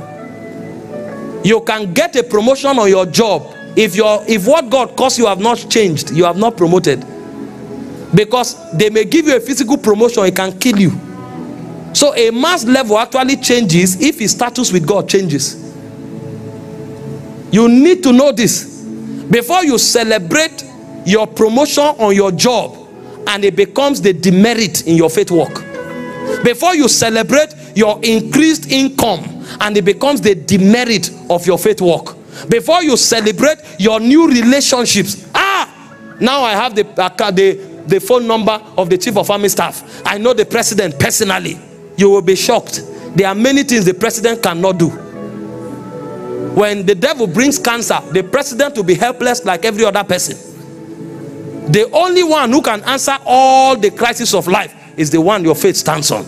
And so, a man of faith, every day, in every circumstance, has one confidant is God. Has one basis, God's position, which is either his nature or his word. And we always act as a sign that he believes God and he believes the basis for his action. If this cycle is complete, you can tell yourself, I am a man of faith. Now, when you enter the faith life, you will discover something that this is a life, not an act. And so you begin to grow in it from one level to another level. And there are 10 levels you grow in faith. 10 levels for everybody who is in the faith life. Hope you know I quoted for you already. It said the just shall live by faith. It didn't say the just shall act faith from time to time. So when you enter the faith corridor, there are levels. And I will just list them because of our time as we close. The first level you will find yourself in, in the faith corridor, is a level where the Bible calls no faith. The level of no faith. That's how the Bible puts it. In Matthew, Mark chapter 4, verse 40. Mark 4:40. Mark 4:40. Quickly, Mark. Oh, him in here. When I'm sharing this now, try to find where you are. And at the end of the service, come and whisper to me. Tell me I'm in level this. But please don't be in level one. Jesus was in a boat with his disciples and he slept off, and the wind came hitting on the boat turbulently. And they tapped him, Master, Master, carest not thou that we perish. And he woke up and he was offended at them. And he said unto them, why are ye so fearful? How is it that you have no faith? You see that they were calling on God, meaning they trust God because they believe God can save them. But God woke up and told them, You have no faith. That means they believe in God, but they are growing. They are the zero level of faith. And you will not understand this scripture until you go back to Deuteronomy chapter 32, verse 20. He will tell you the meaning of no faith. Deuteronomy 32, verse 20. And he said unto them, I will hide my face from them, I will see what their end shall be, for they are very froward generation, children in whom is no faith. So when the master says you have no faith, he's making a statement, not because there's no faith there, but because you are a froward person. What does it mean? A froward person is somebody who is twisted in the mind, somebody who is controversial in the mind, somebody who is difficult to persuade. So there are many persons when you begin the faith corridor, you will discover there's a lot of contention in your mind. You will not be easily persuaded by what you are hearing. You will argue everything and anything God said. That's where Thomas was. In, in John chapter 11, Jesus told him, Lazarus is asleep. And he said, Ah, if Lazarus is asleep, he will wake up now. Why do we need to go there? Everything he kept arguing. Everything he must twist it. That's a froward mind. For such a person, it will be difficult to operate in faith. Even when Jesus resurrected, they said, The master is risen. He says, It's a lie. Unless I see his palms. I saw when they put nails there. I must dip my hand deep inside and see the hole before I believe. When Jesus showed up, he said, Take. Have you not seen people who are so controversial? Everything you tell them, they will argue and argue. Not because they are doubting you, oh, but they cannot bring themselves to just believe. The mind is so twisted, complex, conjugated, and complicated. For such people, the Bible says they have no faith. A forward generation, children in whom is no faith. The second level of faith is the level where the Bible calls little faith. Faith is a bit similar to no faith. But the difference between little faith and no faith is not just that the mind is complicated, the mind is open, the mind is ready to learn and believe, but there's a challenge. The challenge is that there is fear and there is doubt. That same scripture, Mark 4:40, Jesus said, Why are you fearful? Why does doubt arise in your heart? You see that? But in another verse, he now said what Jesus said. He no longer called it little faith. In Matthew 8 26, he called it, he no longer called it no faith, he now called it little faith. So, as you are growing in faith, you will believe God so much you will be eager to take actions. But every time you want to take action, there will be a fear that wants to arrest your action. That fear will want to arrest your action. You know, God says, lay hands on the sick. You are seeing the sick, you are being pulled to lay hands, but fear will paralyze you. For those who have no faith, the cure is to open their minds to learning. When you find that your mind is twisted, you must pay the price to buy the truth. Expose yourself to teachings. Find who speaks to you and sit with him to teach you until the mind opens. For those who have little faith, who are always taken over by fear, get a mentor. When he is acting, go with him.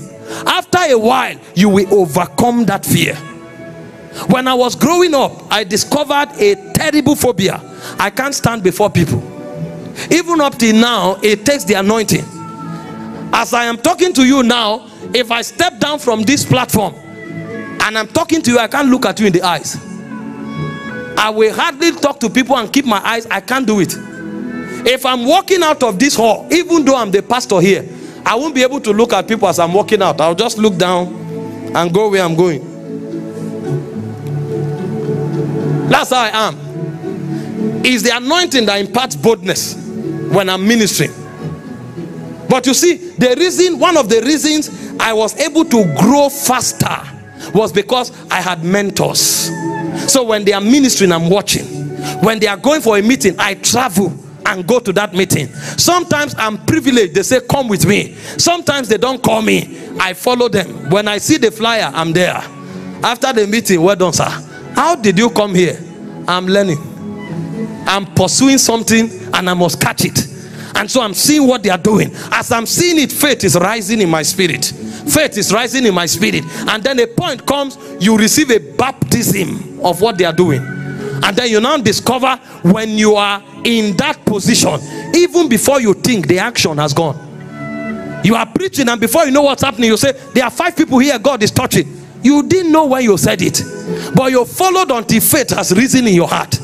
And as you declare, it happens. You look at somebody, they say there's a challenge, you say in the next seven days, there must be an answer. When you finish, you now ask yourself, Did I say seven years? You now go home and start begging God, this thing better happens. Oh, what have I done to myself? Is because you received the baptism. Because little faith is a faith that is paralyzed by fear. That's where many are. Number three level of faith as you are growing is what we call weak faith. Weak faith is a faith that does not necessarily fear, but is a faith that considers. So when you say do this, it's wondering. How about this? How about that? What of this? What will happen to this? So the mind is too logical the mind is too calculative that the action cannot be taken because it's considering too many things. Remember, the Bible said Abraham considered not his body now dead, neither the deadness of Sarah's womb. But there are many people who will consider their body. You tell them you'll get married this year, and they say, Kai, but this is August. Oh. When are we going to start dating? When will we understand ourselves? When are we going to do introduction? When is the marriage? Did you not read the Bible? It said, though the cloud will be empty, but the brook shall be filled with water. It's not about what you are saying. Why we look not at the things which are seen, but at the things that are unseen. You tell them by the Spirit, God said, in seven days you will have a job. And they say, hmm. I've not worked for 10 years, so most of the job now they will ask for experience and they are looking for young people. I'm now 48. Which one will I apply for? They are considering. That's why their faith is weak. If they were able to migrate from the realm of consideration, you will discover that their faith will produce results. But the mind cannot but go to work. Romans 14, from verse 1 to 2. Ooh. It said, Him that is weak in faith, receive ye. Paul was talking about those with weak faith. You know their problem you will see it. He said but not to not to doubtful disputation. That means when you receive those who are weak in faith don't fight with them leave them. That's where they are. When you are talking they say relax. That can't work. When elisha showed up and said by this time tomorrow a cup of barley shall be sold for one shekel the prime minister stood up and said sir i know god too in fact i know god enough to know that there's a window in heaven but even if this happen, be reminded that you are talking about national economy. For national economy to change, there must be budgetary issues, there must be strategies, there must be policies, there must be bureaucratic improvements. What do you think? Do you think you are talking to one widow? This is national economy. Consideration. They know too much for their faith to produce results. He said, when you receive those people, don't argue with them, it won't help them. He said, For one believeth that he may eat all things, another who is weak, it helps. So they think it's wrong to do certain things because they have too many rules and regulations, too many facts, too many programs that has become a law in their mind. That's why their faith is weak. Every time God speaks, they begin to consider. Hope you know the reason Peter began to sink was because he started considering the wind and the wave. So faith becomes weak when consideration takes over the place of believing. That's the third level of faith. But don't be discouraged if you are there. You are still growing. You are still growing. You are growing from no faith to little faith to weak faith. See, what you do at this level is that go against your consideration. When you think it will not work, go and do the same thing. The more you argue, that's the more you act. As you are acting, you will discover that a point will come, your results will begin to supersede your arguments. And then the second thing you do at this level is to cast down your imaginations. The Bible says, casting down imagination and every high standing thing. Second Corinthians 10 from 3 to 5. And bringing into captivity. So God tells you, you will marry this year. And then your mind is telling you, not the devil, that no, nobody can meet somebody, date somebody, and marry in five months. Tell yourself, my God does not live in the realm of time. Everything my God says happen. I rebuke this thought. What God says will happen. If you don't talk to yourself and cast down those imaginations, those imaginations will subdue your faith. You will now discover that you have faith but never having results because your faith is weak. So, two ways to deal with weak faith is to keep carrying out the actions, and number two, keep casting down your imagination. See, the faith life is a deliberate life, we grow in it. It doesn't just happen, we grow. At one level, no faith, you receive light. Keep learning, keep growing in understanding. Your mind is straightened. You go to little faith. At little faith, get mentors, learn from people until you are baptized. Then you come to weak faith, start taking action. You go there, your mind is telling you, Kai, I know God can heal the lame, but this person leg, this is not spinal cord problem. Oh, this leg is this leg is tiny. Ah, the bones. This is bones.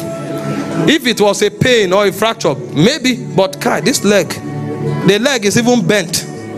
The power that heals the pain is the power that straightens the leg. Your job is not to consider how. Your job is to take the action. It says, As thou knowest not how the bones are formed in him that is with child. It says, So knoweth not thou the ways of the spirit. The harder it is, the simpler it is for God. It says, For with man these things are difficult, but with God, all things are possible. Have you not been there before? Somebody said, My eyes are itching me. You put your hand in the name of Jesus, eyes be healed. The next person you meet is also eye, but the eyes are budged out with cancer. You now say, Where are the intercessors? Come, come, come. We need to join faith. Where are the intercessors? We need to, you know what you are trying to escape? You are trying to escape taking the blame. If it doesn't happen, they will say it's all of us. We are still trusting God. That means when you prayed for the one you thought was weak, you took the glory. The same power that healed itching can heal cancer. It's not for you to consider. Yours is to lay hands and make decrees. But you see, if your brain keeps considering, you'll be asking yourself, when will this thing go down? Will it puncture? Will it vanish? What will happen? That is not your duty. That is God's duty. Allow God to think how it will happen. You follow what He has told you. Weak faith is a faith that considers. Number four, dead faith. Dead faith. Dead faith is a faith that succumbs to arguments and doesn't take action. So if you don't grow from weak faith, you will descend into dead faith. The Bible said in James 2 19 and 26, faith without works is dead. And so somebody is here, I say, I believe in healing. He has never prayed for the sick, he doesn't have faith. I believe in prosperity. He has never taken an action that God recommends for prosperity. He has no faith. Every faith that is not dead takes action. Number five, you now have what we call vain faith. Vain faith. First Corinthians 15, verse 14. Vain faith. There are many people who have vain faith. And if Christ be not risen, then our preaching is vain and our faith is also vain. What is vain faith? Vain faith is a baseless faith. There is no basis. Paul is saying the faith we have has basis. The reason we believe is because Christ rose from the dead. Just in case Christ did not rise from the dead and we are here professing eternal life, he said that would have been a, a, vain faith because it's baseless. But because Christ rose, our faith is substantiated. So a vain faith is a faith that is not substantiated either by a promise or by nature or by an action of God. These are the five levels of weak and unproductive faith. When you are able to grow from this level, then you enter the faiths that produce result. And the faith that produce result are also in five categories. Number one is steadfast faith. steadfast. Colossians 2, verse 5. Steadfast faith. It said, For though I be, I be absent in the flesh, yet am I with you in the spirit. Join and beholding your order and the steadfastness of your faith. Steadfast faith is faith that endures. I know the answer has not come, but I still believe. You know, you must migrate from steadfastness because you have suffered no faith. You have suffered weak faith. You have suffered little faith. You have suffered dead faith. Now you are beginning to learn to take action. As you start taking action, don't assume you will see results. Results don't come immediately. Ask every faith practitioner, they will tell you. You say you are an intercessor. You go to pray for deliverance. You will pray and pray. Maybe the first 10 people you pray for, the demons will not go. The case will become worse, but you will endure. You are trusting God for breakthrough. The moment you start taking actions for breakthrough, that's when your finances will become tighter. If you don't come into steadfastness of faith, you will discover that you will drown. So the first level of productive faith is not faith that have answers. It's actually faith that refuses to back down. Even if the answer does not come, I will stand my ground. I rather die in faith. When you grow from steadfast faith, you now go to strong faith. Strong faith is a faith that rejoices in the midst of circumstances. You see that at this level, you have not started getting results, but you have believed faith more than your answer. Because when you start walking in faith, the first thing God will teach you is that your faith is superior to the answer. Your faith produces the answer, but even if the answer does not come, your faith must be alive. So, even in that difficult circumstance, you see yourself rejoicing. When you can rejoice in the midst of circumstances, then you know that your faith is strong. The Bible said in Romans chapter 4, from verse 18 to 19 to 21, talking about Abraham. See what he said about Abraham. Abraham believed God, he was standing on God's promises, he was taking actions, but no result for 25 years. That's why the Bible said he had strong faith. He said, Who against hope believe in hope? That he will become the father of many nations. According to that which was spoken so shall thy seed be. So there is a basis. So shall thy seed be. And he said be not weak in faith. See why see what he calls weak faith. He considered not. I told you weak faith considers. He said be not weak in faith. He considered not his own body now dead when he was about a hundred years old neither yet the deadness of sarah's womb. Go to the next verse he staggered not at the promises of God through unbelief, but he was strong in faith. What did the strong faith do? It didn't produce answer. He was giving glory to God. Sarah is barren. I am impotent, but glory to God. The job has not come, but glory to God. I am not yet healed, but glory to God. I am not yet married, but glory to God. Many, instead of growing in faith, they start going backward. They move from, from enduring faith or steadfast faith and they collide back to dead faith and goes back. The answer is not what informs the faith, it is the refuser to change your position. I told you, faith is not just an act, it's a life. Go and ask all the faith giants, they will tell you. You'll see Bishop Oyedepo today, they just give commandments like gods, and things happen. You think that's how they started? You see Pastor Chris, he shows up, he sees cripple, get up, out, and it's happening. You think that's how they started?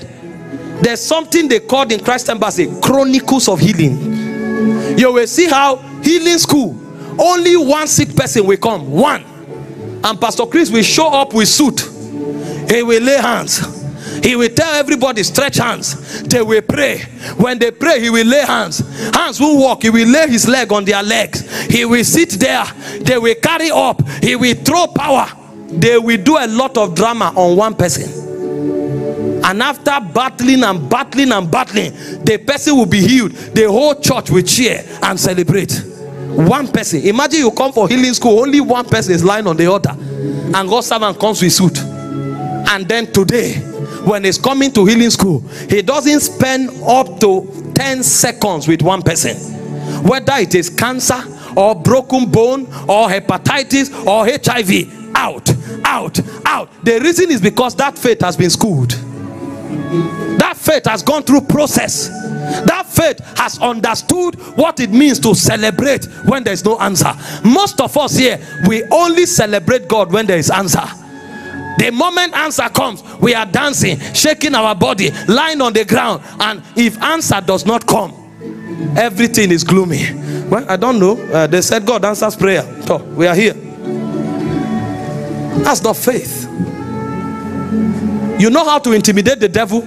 Celebrate more when there's no answer. The devil will now discover that it is not answer that is your persuasion, it is your conviction in God that is your persuasion. When you are there, it's called strong faith. Number eight, we have what we call unfeigned faith. You will see that all of these things are processes. Unfeigned faith is a sincere kind of faith, truthful kind of faith, honest kind of faith.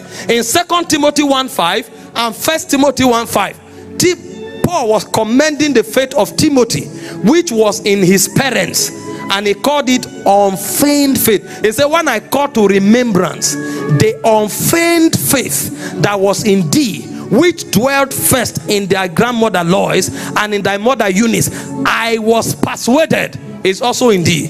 Do you know what happens to many people and they never grow in faith again? He comes, he feels or he perceives that God says there's somebody on the second row who is blind. He now says there's somebody on this second row who is blind and nobody answers that is blind. He will now say, No, no, what the second row I mean is in the spirit. There's no sincerity. You know what he has done? He has aborted the faith program. He comes and makes a declaration. Next week, 10 people will prosper. Next week comes, there's no testimony of prosperity. He now comes and says, A day in the eyes of God is a thousand years. When I said next week, don't assume that it's seven days. You are carnal. You are not spiritual. You don't know spiritual things. When you understand spiritual permutation and algorithm, you will know that these things I said, oh God, relax. Relax. Be sincere. If it doesn't work, maybe I missed God. I'm still learning. Don't put yourself under any pressure. Stay truthful. The moment you pass the test of unfeigned faith, you now enter into faith that produces result. Because the next in faith will become great faith. What is great faith? Great faith is faith that produces results. Great faith is faith that breaks protocols. Great faith is faith that creates answers even where there's no answer. So God will school you in the school of faith before he brings you here. Luke chapter 7 from verse 1 to 9. You hear the story of the centurion came to Jesus and said the servant was sick. And Jesus, the people persuaded him. This man is a great man. He has done well for the church. And Jesus said, Okay, if he has, I will go. You know, many people think God doesn't pay attention to those things. The reason Jesus followed this man, they said he has helped the church, he has even built a synagogue. Today, people will tell you, forget all those giving. It's a lie. It's not true. God pays attention to it. They told him, This man built a synagogue. He's a good man. And Jesus said, I will go there. As Jesus was on his way coming, he said, Stop, don't trouble the master. He doesn't have to enter my house. He said, I am a man under authority. I said to one, Go, he goes. I said to another, Comes, he comes. Send the word only, my servant shall be made whole. And in verse 9, Jesus turned and marveled. People surprise God. There are men who surprise God. And Jesus marveled and said, I have not seen such great faith. No, not in Israel. Immediately, the answer was produced. Three things to learn there is number one, great faith produces results. Number two, great faith breaks protocols. You know why? This man was a Gentile. Jesus himself said, I am not sent to the Gentiles, I'm sent only to the household of Israel. But the man broke protocols. And number three, about great faith, is that great faith answers anywhere, anytime. It doesn't have to be where you are, anywhere, anytime. great faith has the capacity to produce result. This is how God grows us on the corridor of faith. If you study Matthew 15 from verse 21 to 28, you hear the story of the Canaanite woman. She was pleading with Jesus, My daughter is vexed with demons. And Jesus said, No, I didn't come to the Gentiles. I came for the household of Israel. The dispensation of the Gentiles will begin when the Holy Ghost comes. But now I'm only for the household of Israel. And the woman said, No. And Jesus turned to her. In fact, the disciples became offended. Ah, Oga, heal this woman's daughter. Now, if you don't want, let her go. And Jesus looked at her and said, It is not good to give the children's bread to dogs. You would think the woman will be offended. Am I a dog? Jesus will not insult anybody. She understood the parable, but she answered from a superior realm. She said, Even the crumbs that falls from the table, the dogs can eat of them. And Jesus turned and looked at her and said, Wow, woman, great is thy faith. Go, thy daughter is made well. Three things again. Number one, it produced result. Number two, the woman was not a Jew, she's a Gentile. And number three, it answered, even though Jesus was not there. That's how great faith works. But it's a journey. Most of us think the moment we, we say we have faith, we will start producing result. No, it's a process. The day you receive faith, maybe you are operating at the level of frowardness. Your mind is too complicated for power to flow. And then you move to the level of fear, little faith. And then you move to the level of dead faith no action. You will keep growing like that. So don't be discouraged that you are not seeing result. It doesn't mean there is no result in what you are doing. You are just growing. A day will come when you will move into the realms of great faith. And anything you say even if you don't mean it it will still produce result. When you have mastered great faith then you now have rich faith. Rich faith is when you become heavy with God. You have stature with God. Because as you grow in faith, a point will come you will discover that it's not about the results, it's not about the manifestation, it's about glorifying God. So everything you do, your motivation will be for God to be glorified. When you get there, you are not just rich, great in faith anymore, you become rich in faith. James 2, verse 5 and 6. Hear what the Bible says.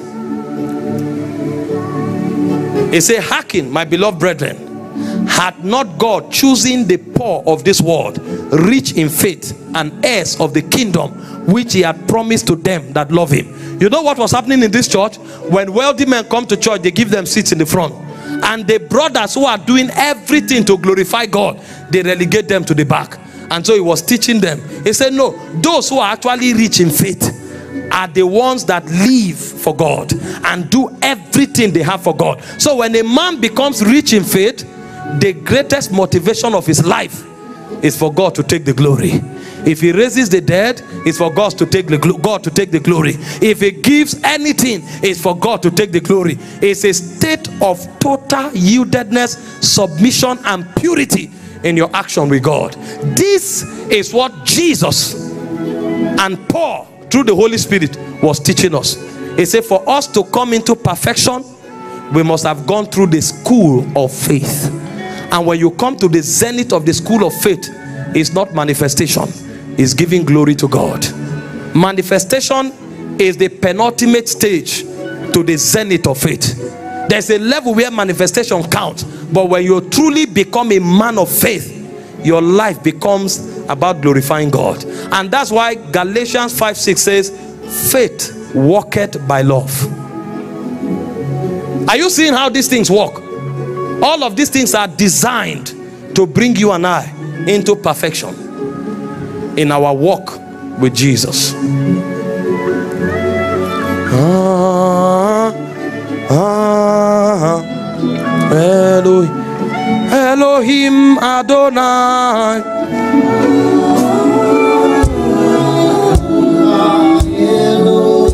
Elohim Adonai.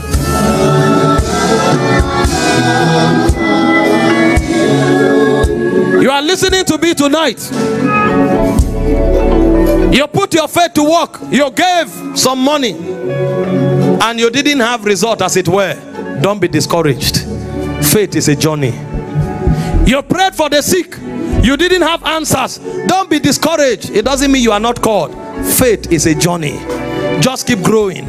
Keep growing. One day you will break into the realm of great faith. Answers will become too common. It's a journey. Refuse to be discouraged. In the journey of faith, you don't go back. The Bible said we are not of them that draw back unto perdition. He said, but we continue to the saving of the soul. There's somebody here, you have given for five years, you have given for 10 years, you have not even received one blessing from giving. You are almost thinking this doctrine is a scam. No, it's not so. There's somebody here, you have prayed for the sick for seven years, you have not as much as seen two healings. Don't think it's a scam, it's real. You are just growing. A day will come, you become God's signature for a particular dimension. Rise up, let's pray.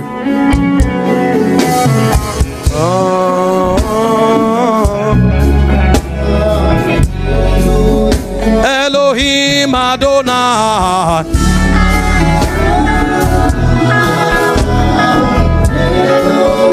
Elohim Adonai.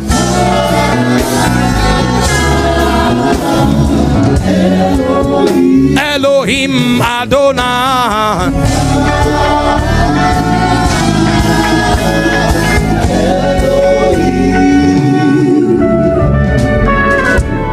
Didn't have time. I didn't want to go into testimonies. Because if I enter testimonies, things would have erupted and I wouldn't have been able to teach. But these things I'm teaching you, I've seen them and they have become too common that as a principle now, I hardly teach and refer to testimonies in the past. Because I saw the life of Jesus, Jesus hardly will come for a meeting and tell you last week this happened. No, it will happen now. Because now faith is now. I wouldn't have time to start talking about testimonies. Because if we pray now, somebody will be healed. As I'm standing now, if I decree that you are blessed, before tomorrow evening, somebody's life will change. It's not because I'm special, I have learned faith. And this is not that you are an apostle, this is the calling of every believer. It said, The just shall live by faith. If I want God to touch people here, either do an activation or an impartation, it won't take me one minute. It won't take me one minute. I can change this service now in one minute. I can switch into God's power, not because I'm feeling anything. There is too much faith. I know if I talk, angels walk. And it's not because I'm a preacher. That's the calling of every believer. Master these things, master them, master it. This is the secret of an invincible living. I want to pray for you.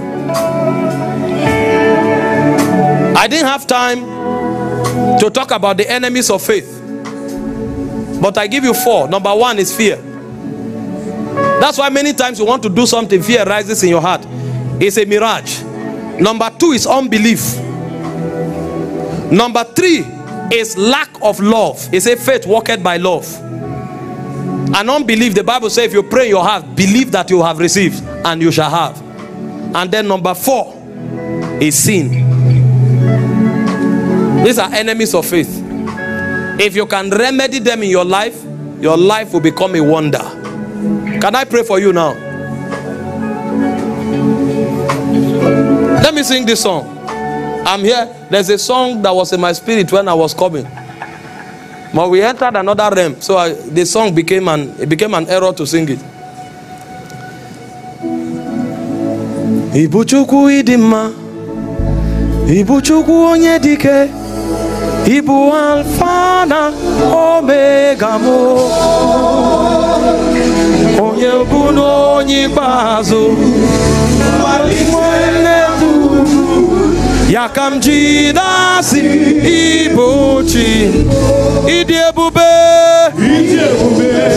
Ịdị omimi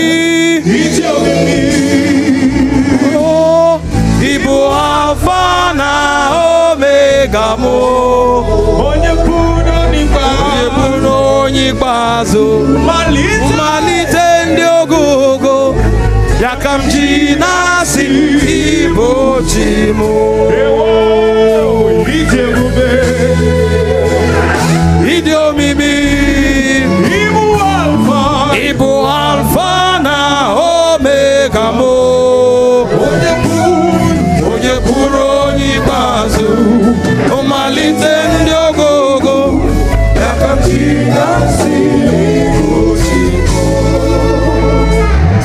ịbụ chukwu ịdị mma chukwu onye dị ike ịbụ alfa na omega m onye bụrụ onye ikpeazụ mmalite ndị oge ugwu ya ka m ji na-asị chi m ịdị ebube Ịdị ebube. ịdị omimi